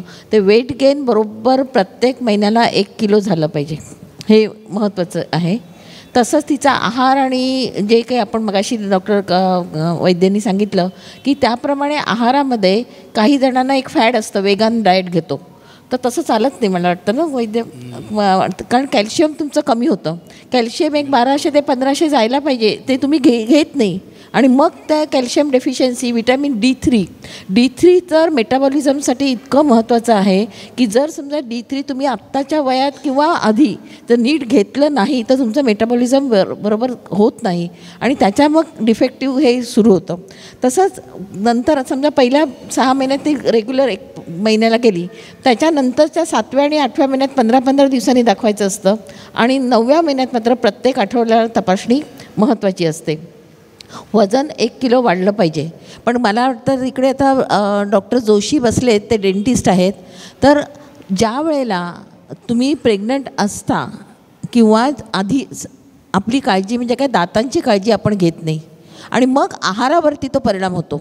आणि आहारावरती परिणाम झाल्यानंतर ॲब्सॉप्शनवरती परिणाम होतो. आणि ॲब्सॉप्शनवरती परिणाम झाल्यानंतर तुम्ही विटॅमिन्स घ्या किंवा काही करा. फक्त विटॅमिन्स घेतात तेवढं सगळंच ॲब्सॉर्ब होईल असं नाही. तर त्याच्यामुळे जे पाचक्रस तयार व्हायला पाहिजेत आपल्या म्हणजे दातांच्या काळजी काळजीसुद्धा तेवढीच महत्त्वाची ठरते. किंवा काही काही वेळेला मध्येच दा दाढदुखी होते. तर त्यावेळेला आम्ही सांगतो काय की कुठची सेफ पिरियड म्हणजे कुठचा? सेकंड ट्रायमेस्टर सेकंड ट्रायमेस्टरमध्ये तुम्ही अपेंडिक्स काढा.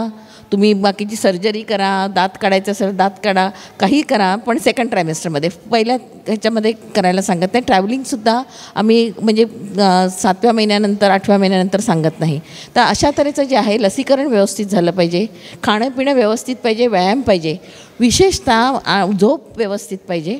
आणि महत्त्वाची गोष्ट म्हणजे मानसिक आरोग्य. ह्या मानसिक आरोग्यावरती कोणीही लक्ष देत नाही.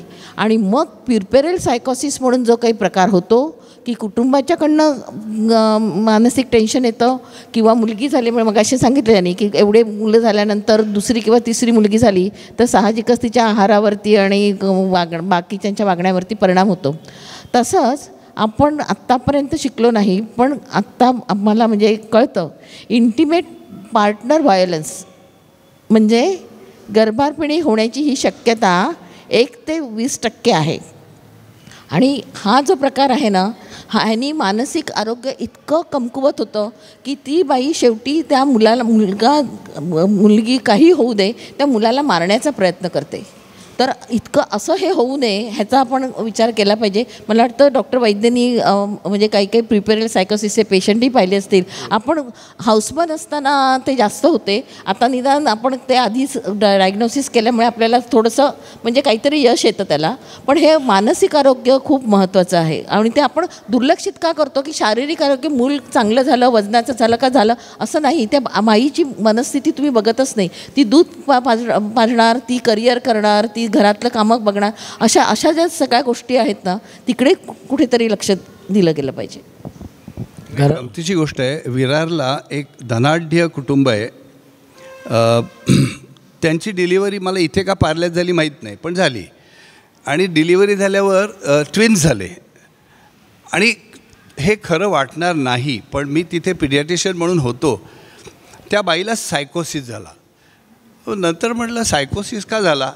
त्या बाईला सगळ्यांनी गुप्त ठेवलं की तुला ट्विन्स आहेत. कॅन यू इमॅजिन आणि तो तिच्यावर एवढा परिणाम झाला दोन बेबी झाल्या दोन झाल्या. शी बिकेम सायकॉटिक आणि त्याच्यानंतर अक्षरशः एक दीड वर्ष ती त्या ह्याच्यातच होती त्या मग हळूहळू बाहेर आली. म्हणजे काय अतर्क्य गोष्टी काही काही घडतात. गर्भारपणी वजन प्रत्येक महिन्याला रश्मिताई चेक करतात.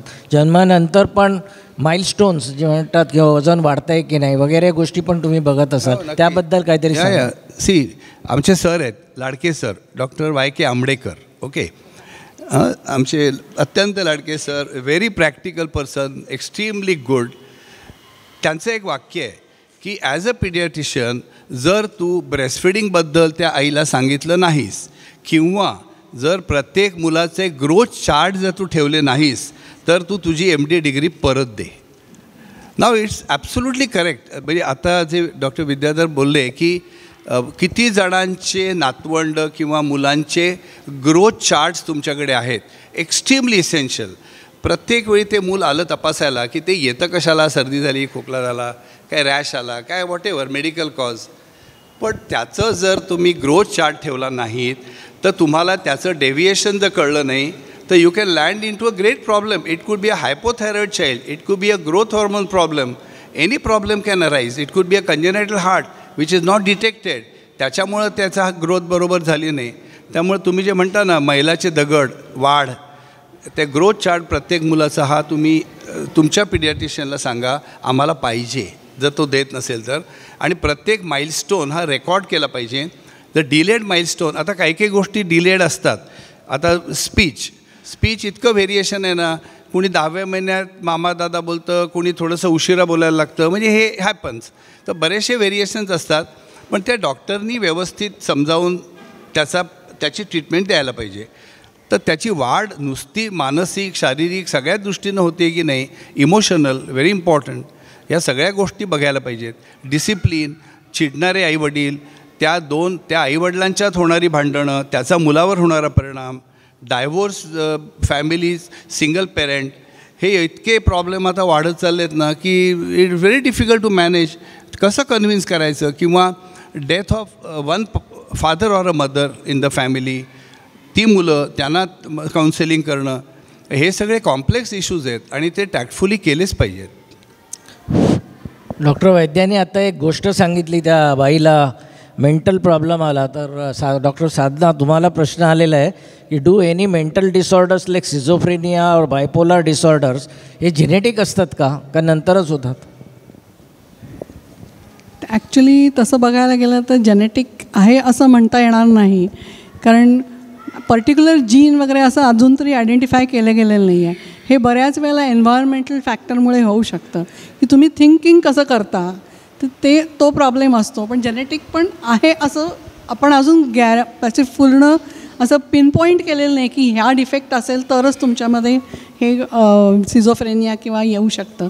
पण बऱ्याच वेळा हे एन्व्हायरमेंटल फॅक्टर असतो. तुमचं थिंकिंग अपब्रिंगिंग कसं आहे ते महत्त्वाचं असतं. जसं आत्ता डॉक्टरांनी सांगितलं वैद्याने की एन्व्हायरमेंटल फॅक्टर म्हणजे काय? तर तुम्ही घरात कसे वापर की घरात सारखी भांडणं होत असतील आईवडिलांचं किंवा कुठे ज्या एखादा फॅक्टर असतो की बाबा ह्या घरामध्ये सारखं किंवा शेजारच्या कुठे बाजूला असं ऐकून ऐकून मुलांमध्ये सुद्धा ना की आता हल्ली जास्त टी व्हीचा परिणाम झाला. की टी व्ही बघत बसतात मुलं मग नको त्या गोष्टी बघतात आणि मग त्यांच्या त्याप्रमाणे त्यांचं थिंकिंग सुरू होतं की हे असं असू शकेल मग हा असं मग माझ्या माझ्यावर असंच करतील का कोणी? हा जो भीती जी मनात येते ना ती त्याच्यामुळे होतं. हा असा माझा तरी समज आहे म्हणजे. बहुतेक प्रश्न संपलेले आहेत. दोन चार प्रेक्षकातून आलेले प्रश्न विचारतो. डायबिटीसबद्दल रश्मीताई रश्मिताई तुम्ही सांगितलं होतं की जर डायबिटीस सापडला तर विशेष टेस्ट आम्हाला करत राहावं लागतात. ऑन सिमिलर लाईन जर एखाद्याला पी सी ओ डी एखाद्या लेडीला असेल तर तिला जिस टू एन अशी काही औषधं आहेत का की पी सी ओ डीमध्ये डायबिटीस होतं असं तुम्ही म्हणालात ती अवॉइड करता येईल का? पी सी ओडीचं असं असतं की तुम्हाला तुमच्या अंडकोशाची जी निर्मितीची जी क- कार्यक्षमता आहे ना ती वाढवावी लागते. पी सी ओडीमध्ये ओवरी तुमची लेझी बनते. त्या लेझी ओव्हरीला तुम्हाला जागवावं लागतं की हे असं तुझं कार्य आहे तू करत नाही. आणि त्या ओव्हरीला फंक्शनिंग करण्यासाठी औषधं आहेत. आणि त्या फंक्शनिंग काय होतं की बीज तयार होतं ते आठ स्टेजेसमध्ये जायच्याऐवजी फक्त सहाव्या स्टेजला ते थांबतं. त्याच्यामुळे सातव्या आठवी स्टेज न आल्यामुळे ते पी सी ओ म्हणजे ते ओव्ह्युलेशन होत नाही. आणि म्हणून मग हार्मोनल इम्बॅलन्स होऊन म महिना तिचा पुढे जातो मागे जातो कसाही म्हणजे इरेग्युलर होतो. असं आहे ते. आणि त्याच्यात इन्सुलिन फास्टिंग आम्ही करतो आणि इन्सुलिन पोस्ट प्रेग्निनल कर करतो. त्याच्यामुळे आम्हाला कळतं की ह्याची तीव्रता किती आहे. म्हणजे अंडकोश किती वेळ झोपलेलं आहे. जर समजा झोपलेलं नसेल तर पटकन त्याचा डाएटरी विशेषतः लाईफस्टाईल चेंजेसनी खूप फरक पडतो. एक्सरसाइज आणि डाएट ह्यांनी खूप फरक पडतो आणि औषधं आहेत त्याच्यावरती. ती औषधं मात्र नीट घेतली गेली पाहिजेत. डॉक्टर साधना ऑटिझमवर काहीतरी सांगा. प्रश्न बरेच येत आहेत की इज ऑटिझम जिनेटिक आणि out of twins one can be normal other can have असं होऊ शकतं का? नाही परत ऑटिझम हां. ट्विन्स इफ जन्माला जर आले तर एकाला होईल एकाला नाही होईल असं होऊ शकतं का? आणि ऑटिझमबद्दल थोडंसं सांग. ऑटिझम हा मल्टीफॅक्टोरियल आहे. जेनेटिक तर आहेच पण बाकीच्या दृष्टीने आता हल्लीच्या करोना पिरियडमध्ये बरीच मुलं ऑटिस्टिक आहेत असा अंदाज झालेला आहे. की आम्हाला बऱ्याच वेळा असं येतात की बाबा आमचं मूल वाटतं आहे आम्हाला. तर खरंच आहे का? तर ह्या गोष्टी काय आहेत एन कारण आता कसं ह्याच्यामध्ये करोनामध्ये मुलं कुठेही बाहेर जात नव्हती. कायम घरात असायची. मग घरात काय? तर त्यांना मोबाईल दिले जायचे. आयपॅड द्या मोबाईल द्या त्याच्यावर खेळत बसायचं. म्हणजे बाकीच्यांशी घरातल्या कुणाशी कारण आई वडील आपापल्या कामामध्ये बिझी असायचे. मुलाकडे बघायला कोणी नाही. ते मूल तसंच. म्हणजे माझ्याकडे काही काही अशा केसेस आलेत की आता आम्ही काय करू? आम्हाला प्रॉब्लेम झाला आहे म्हटलं फक्त एकच करा की आता तुम्ही त्या मुलाबरोबर वेळ जास्त घालवा. त्याला चार माणसांमध्ये म्हणजे हे ऑटिझम हा जेनेटिक तर आहेच नाही असं नाही. पण मल्टीफॅक्टोरियल आम्ही म्हणतो की फक्त जेनेटिक असून चालत नाही बाकीच्या गोष्टी पण त्याच्यामध्ये येतात. की एन्व्हायरमेंटल फॅक्टर म्हणजे बिहेवियर पॅटर्न हा सगळा त्याच्यामुळे तयार होतो. आणि त्यामुळे एक मूल नॉर्मल ट्विन ट्विनमध्ये सुद्धा एक मूल नॉर्मल असेल एक मूल ॲबनॉर्मल होऊ शकतं. असं काही सांगता येत नाही. तो परत जेनेटिक फॅक्टर आहेच तिथे की एखादा जीनमध्ये काही प्रॉब्लेम कारण ऑटिझमचे आत्तापर्यंत काहीतरी प- दहा एक जीन्स फाय मिळालेली आहेत. की हे एक्सप्रेस झाले तर ते मूल ऑटिस्टिक होऊ शकतं. पण त्याच्याबरोबरच एन्व्हायरमेंटल पण आहे. त्यामुळे दोन्ही गोष्टी चालू शकतात होत होऊ शकतात. तुम्ही म्हटल्याप्रमाणे ग्रहणाचा प्रश्न आलेला आहे. हां. ग्रहणामुळे काय प्रॉब्लेम येतात का? आणि रश्मिताईंना प्रश्न आहे if spotting is after five months what do we do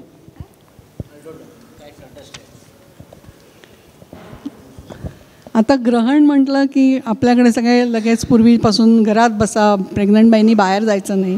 वगैरे असं चाल असायचं असतं. तर त्याच्या वेळेला बेसिकली काय आहे की सायंटिफिकली आपल्याकडे असं जर नाही सांगितलं तर लोक ऐकणार नाहीत. किंवा देवाचे कुठल्याही गोष्टीसाठी देवाची भीती घातली की ती लोक ऐकतात.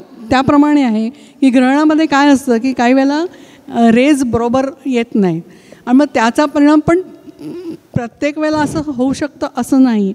पण ते झा झालं ग्रहणात बाहेर गेली म्हणून ॲबनॉर्मिलिटी आली. असं नाही काहीतरी जेनेटिक फॅक्टर त्याच्यामध्ये ॲबनॉर्मल झाला आहे म्हणूनच तुमचं ॲबनॉर्मल मूल होतं. पाचव्या महिन्यानंतर जेव्हा ब्लिडिंग होतं त्याचं कारणं अशी असतात की एकतर गर्भाशयामध्ये प्लॅसेंटाची पोझिशन म्हणजे बाळाचं नरिशमेंट बेड आहे त्याची पोझिशन बरोबर खाली आलेली असते.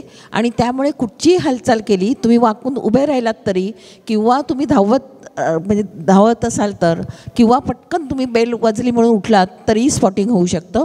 दुसरी गोष्ट अशी आहे की आपल्याला नॅचरल इंडिकेशन असतं. जर ॲबॉर्शन व्हायचं असेल आणि जर समजा काहीतरी ॲबनॉर्मल बेबी असेल किंवा काही तर त्या मिस्ड अबॉर्शनची एक साईन म्हणून ब्राउनिश कलर डिस्चार्ज जाऊ शकतो. मग त्या स्पॉटिंगमध्ये सुद्धा प्रकार आहेत. सतत होणारं स्पॉटिंग त्यालाही औषधं आहेत. ती औषधं घेऊन आपण स्पॉटिंग हे करू शकतो आणि सोनोग्राफी करून एक्झॅक्टली कॉज समजू शकतं आपल्याला की फिटल बॅडिकार्डी आहे टॅकिकार्डी आहे प्लासेंटा कुठे आहे हे करून बघू शकतो. बहुतेक सगळे प्रश्न संपले. एक शेवटचा प्रश्न आहे. की बरेच पेशंट हल्ली ॲस्पिरिन कोलेस्ट्रॉलच्या गोळ्या कंटिन्युअस घेतात. आधीचे ते प्रेग्नन्सीमध्ये ॲस्पिरिन तुम्ही पण देता. तर त्याचं कारण काय? नाही ॲस्पिरिन द्यायची गोष्ट म्हणजे कोॲग्युलेशन ॲक्च्युली नाही pregnancy itself like a transplant it's a transplant process जशी आपण म्हणतो तसं प्रेग्नन्सीची प्रोसेस असते. जर ॲक्सेप्ट केली मदर्सच्या बॉडीनी तर ॲक्सेप्टेड जर नाही केली तर रिजेक्शन मग ती रिजेक्शन होताना कारणं भरपूर असतात. पण त्याच्यामध्ये शेवटच्या महिन्यामध्ये जेव्हा सातव्या महिन्यात ज्यावेळेला प्लासेंटामधनं ब्लड फ्लो वाहतो तेव्हा त्याच्यामध्ये क्लॉटिंग व्हायला सुरुवात होते. ते क्लॉटिंग होऊ नये म्हणजे असं हार्टचा मला वाटतं की स्टेन घातल्यानंतर किंवा हार्ट सर्जरी झाल्यानंतर ॲस्पिरिन सुरू करतात. तशा तऱ्हेचा एक स्टडी करून त्यांनी सांगितलेलं आहे की अमुक एक जर समजा असा अशी जर हिस्ट्री असेल तर तुम्ही ॲस्पिरिन देऊ शकता आणि ते सेफ असतं. म्हणजे त्यांनी काही फक्त एवढंच करायचं असतं की जर समजा ॲस्पिरिन घेत असेल तर सिझेरियन करायच्या आधी किंवा हां म्हणजे साधारण डिलिव्हरीच्या वेळेस थोडं थांबावं लागतं नाहीतर खूप ब्लिडिंग होऊ शकतं. नशिबाने एवढं सगळं होऊ नये नाईंटी एट पर्सेंट डिलिव्हरीज ह्या नॉर्मल होतात. That's a great thing God is great सर्व प्रश्न ऑलमोस्ट सगळे संपलेले. म्हणतो की ॲबॉर्शन झालं is a good sign don't take it negative it's always possible there is some problem in the baby that's why nature tries to remove the abnormal thing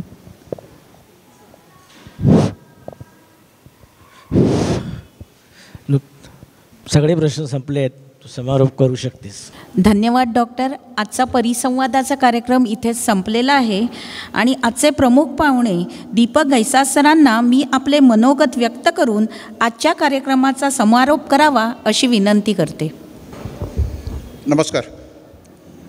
पहिल्याप्रथम Gulgule foundation आणि लोकमान्य सेवा संघ दोघांचे मनपूर्वक आभार की एवढ्या चांगल्या विषयाला एवढ्या मोठ्या विषयाला तुम्ही हात घातलात. आणि हे जे रेकॉर्ड तुम्ही केलेत मला वाटतं ते यूट्यूबवर टाकण्यात येईल. त्यामुळे जास्तीत जास्त लोकांना त्याचा फायदा होईल खास करून तरुण मुलांना मुलींना. जेनेटिक कुंडलीपासून ते सेलफोनपर्यंत तुम्ही सगळे प्रश्न हाताळलेत. माझ्यासारख्या सामान्य माणसाला एक गोष्ट पटली की लग्न होणं जेवढं कठीण असेल त्याच्यापेक्षा मूल होणं जाऊन कठीण आणि कॉम्प्लेक्स आहे. आणि अशा वेळेला तुम्ही जसं म्हणालात की ninety eight percent delivery normal होतात.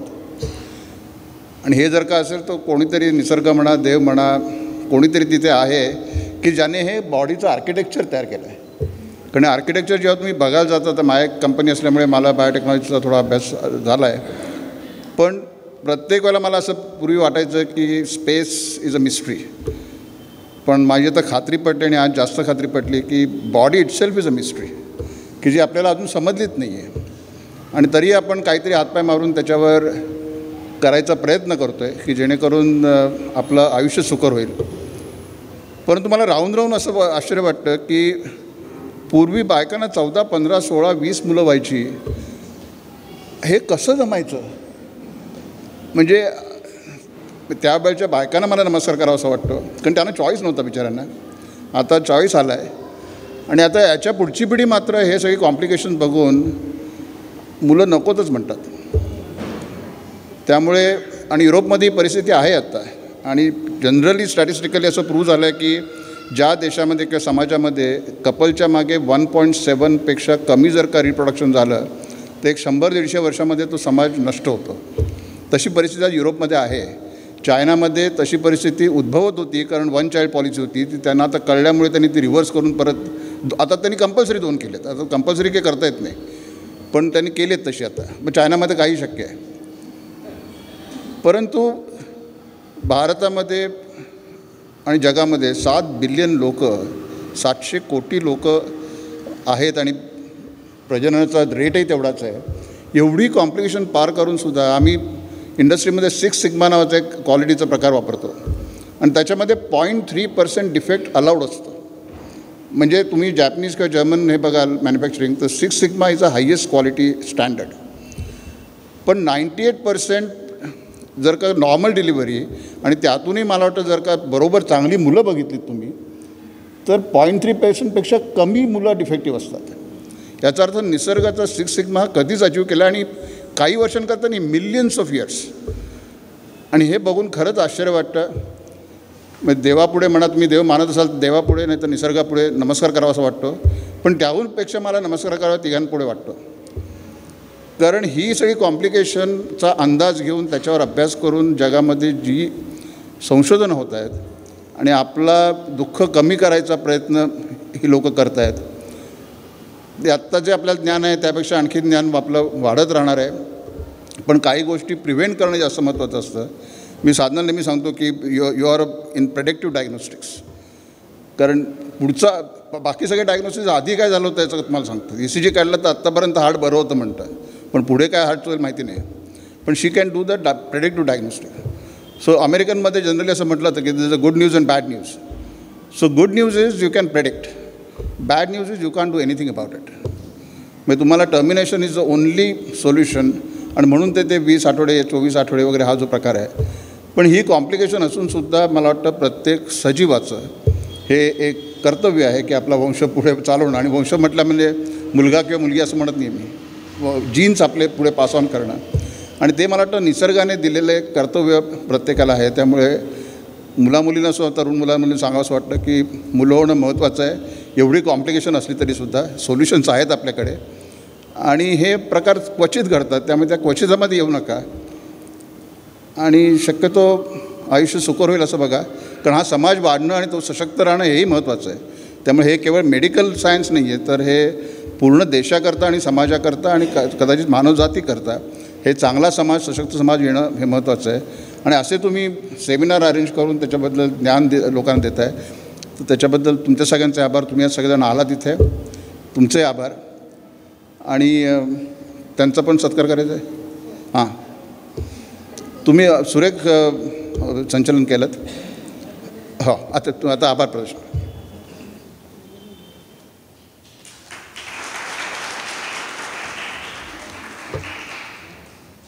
कार्यक्रमाचा शेवटचा भाग म्हणजे आता आभार प्रदर्शन. लोकमान्य सेवा संघ आणि नूतन गुळगुळे फाउंडेशन यांच्या संयुक्त विद्यमाने लोकोपयोगी उपक्रमाचे परिसर स्पर्श सक्षम गर्भधारणा ते सजग बालसंगोपन हे पहिले पुष्प आज इथे गुंफण्यात आलं. या कार्यक्रमातील परिसंवादात पार्ल्यातील नामवंत तज्ज्ञांनी भाग घेतला. त्यापैकी डॉक्टर साधना घैसास या जेनेटिक तज्ज्ञ. त्यांनी बाळ जन्माला येण्यापूर्वी करणार करण्यात येणाऱ्या निदान चाचण्यांची आपल्याला माहिती दिली. शारीरिक अथवा मानसिक अपंगत्व अनुवंशिक आजार यांचे योग्य वेळी निदान करण्याचे महत्त्व सोप्या भाषेत आपल्याला समजावून सांगितले. त्याबद्दल त्यांचे आभार.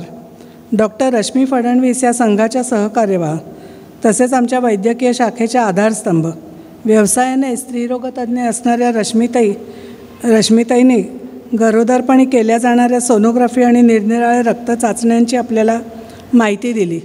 शिवाय जेस्टेशनल डायबेटीससारख्या आजाराच्या निदानाचे महत्त्व समजावले. सक्षम गर्भधारणेसाठी आवश्यक अशी माहिती आपणाला त्याच्यामुळे मिळाली. यासाठी त्यांचे आभार मानणेही उचित ठरेल. बालरोगतज्ञ डॉक्टर वैद्य हे तर पार्ल्यातील घराघरात पोचलेलं नाव.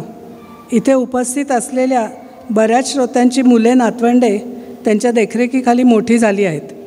विभक्त कुटुंब पद्धतीत वाढणारी आजची मुले पालक बनतात तेव्हा बालसंगोपनाचे डॉ धडे डॉक्टरांकडून घेतात.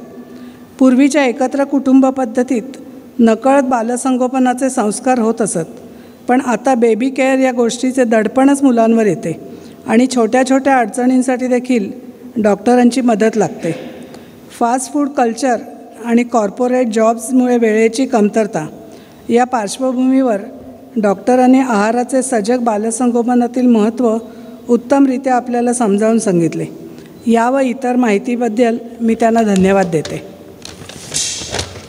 डॉक्टर विद्याधर कुलकर्णी हे पार्ल्यातील एक सिनियर फॅमिली फिजिशियन. त्यांनी या परिसंवादात सर्व तज्ज्ञांना बोलते केले.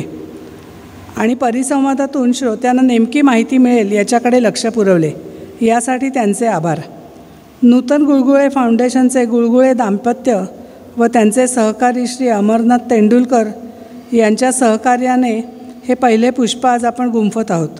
पुढील पुष्प दिनांक सतरा मार्च रोजी याच ठिकाणी गुंफण्यात येईल. त्याचा विषय असेल दिव्यांगांचे सर्वसमावेशक शिक्षण.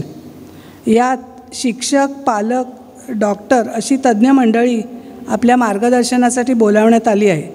आजच्यापेक्षाही अधिक संख्येने पुढील सर्व कार्यक्रमांना आपण उपस्थित राहा अशी मी आपल्याला विनंती करते. गुळगुळे पतीपत्नींनी आपल्या वैयक्तिक आयुष्यातील दिव्यांग मुलाच्या संगोपनाचे आव्हान पेलले आणि या आव्हानाने खचून न जाता सामाजिक जाणीवेपोटी फाउंडेशन निर्माण करून आजचा जाणीव जागृती कार्यक्रम घडवून आणला. यासाठी त्यांना मनपूर्वक धन्यवाद देते आणि आजचे आपले पाहुणे श्री दीपक घैसा सर यांनी त्यांना सन्मानित करावे अशी मी त्यांना विनंती करते.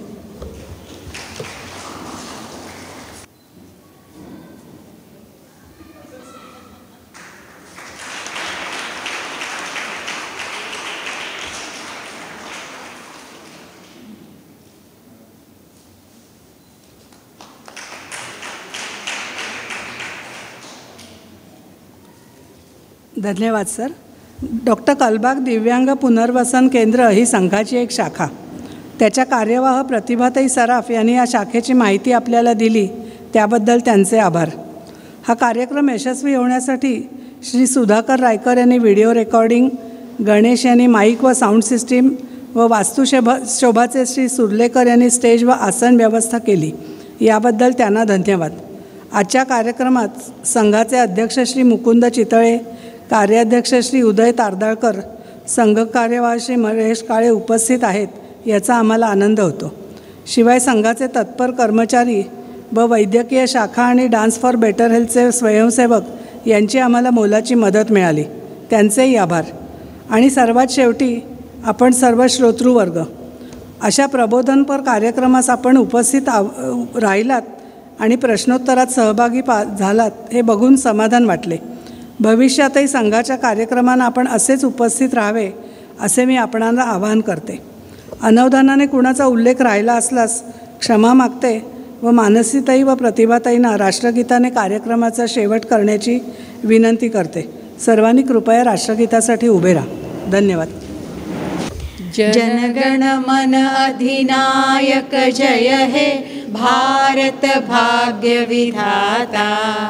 पंजाब सिंध गुजरात मराठा द्राविड उत्कल वंग विंध्य हिमाचल यमुना गंगा उच्चल जलधि तरंग तव शुभ नामे जागे तव शुभाशिष मागे गाहे तव जय गाथा। जनगण मंगलदायक जय हे भारत भाग्य विधाता। जय हे जय हे जय हे। जय जय जय जय हे। भारत माता की। वंदे. मातरम. धन्यवाद.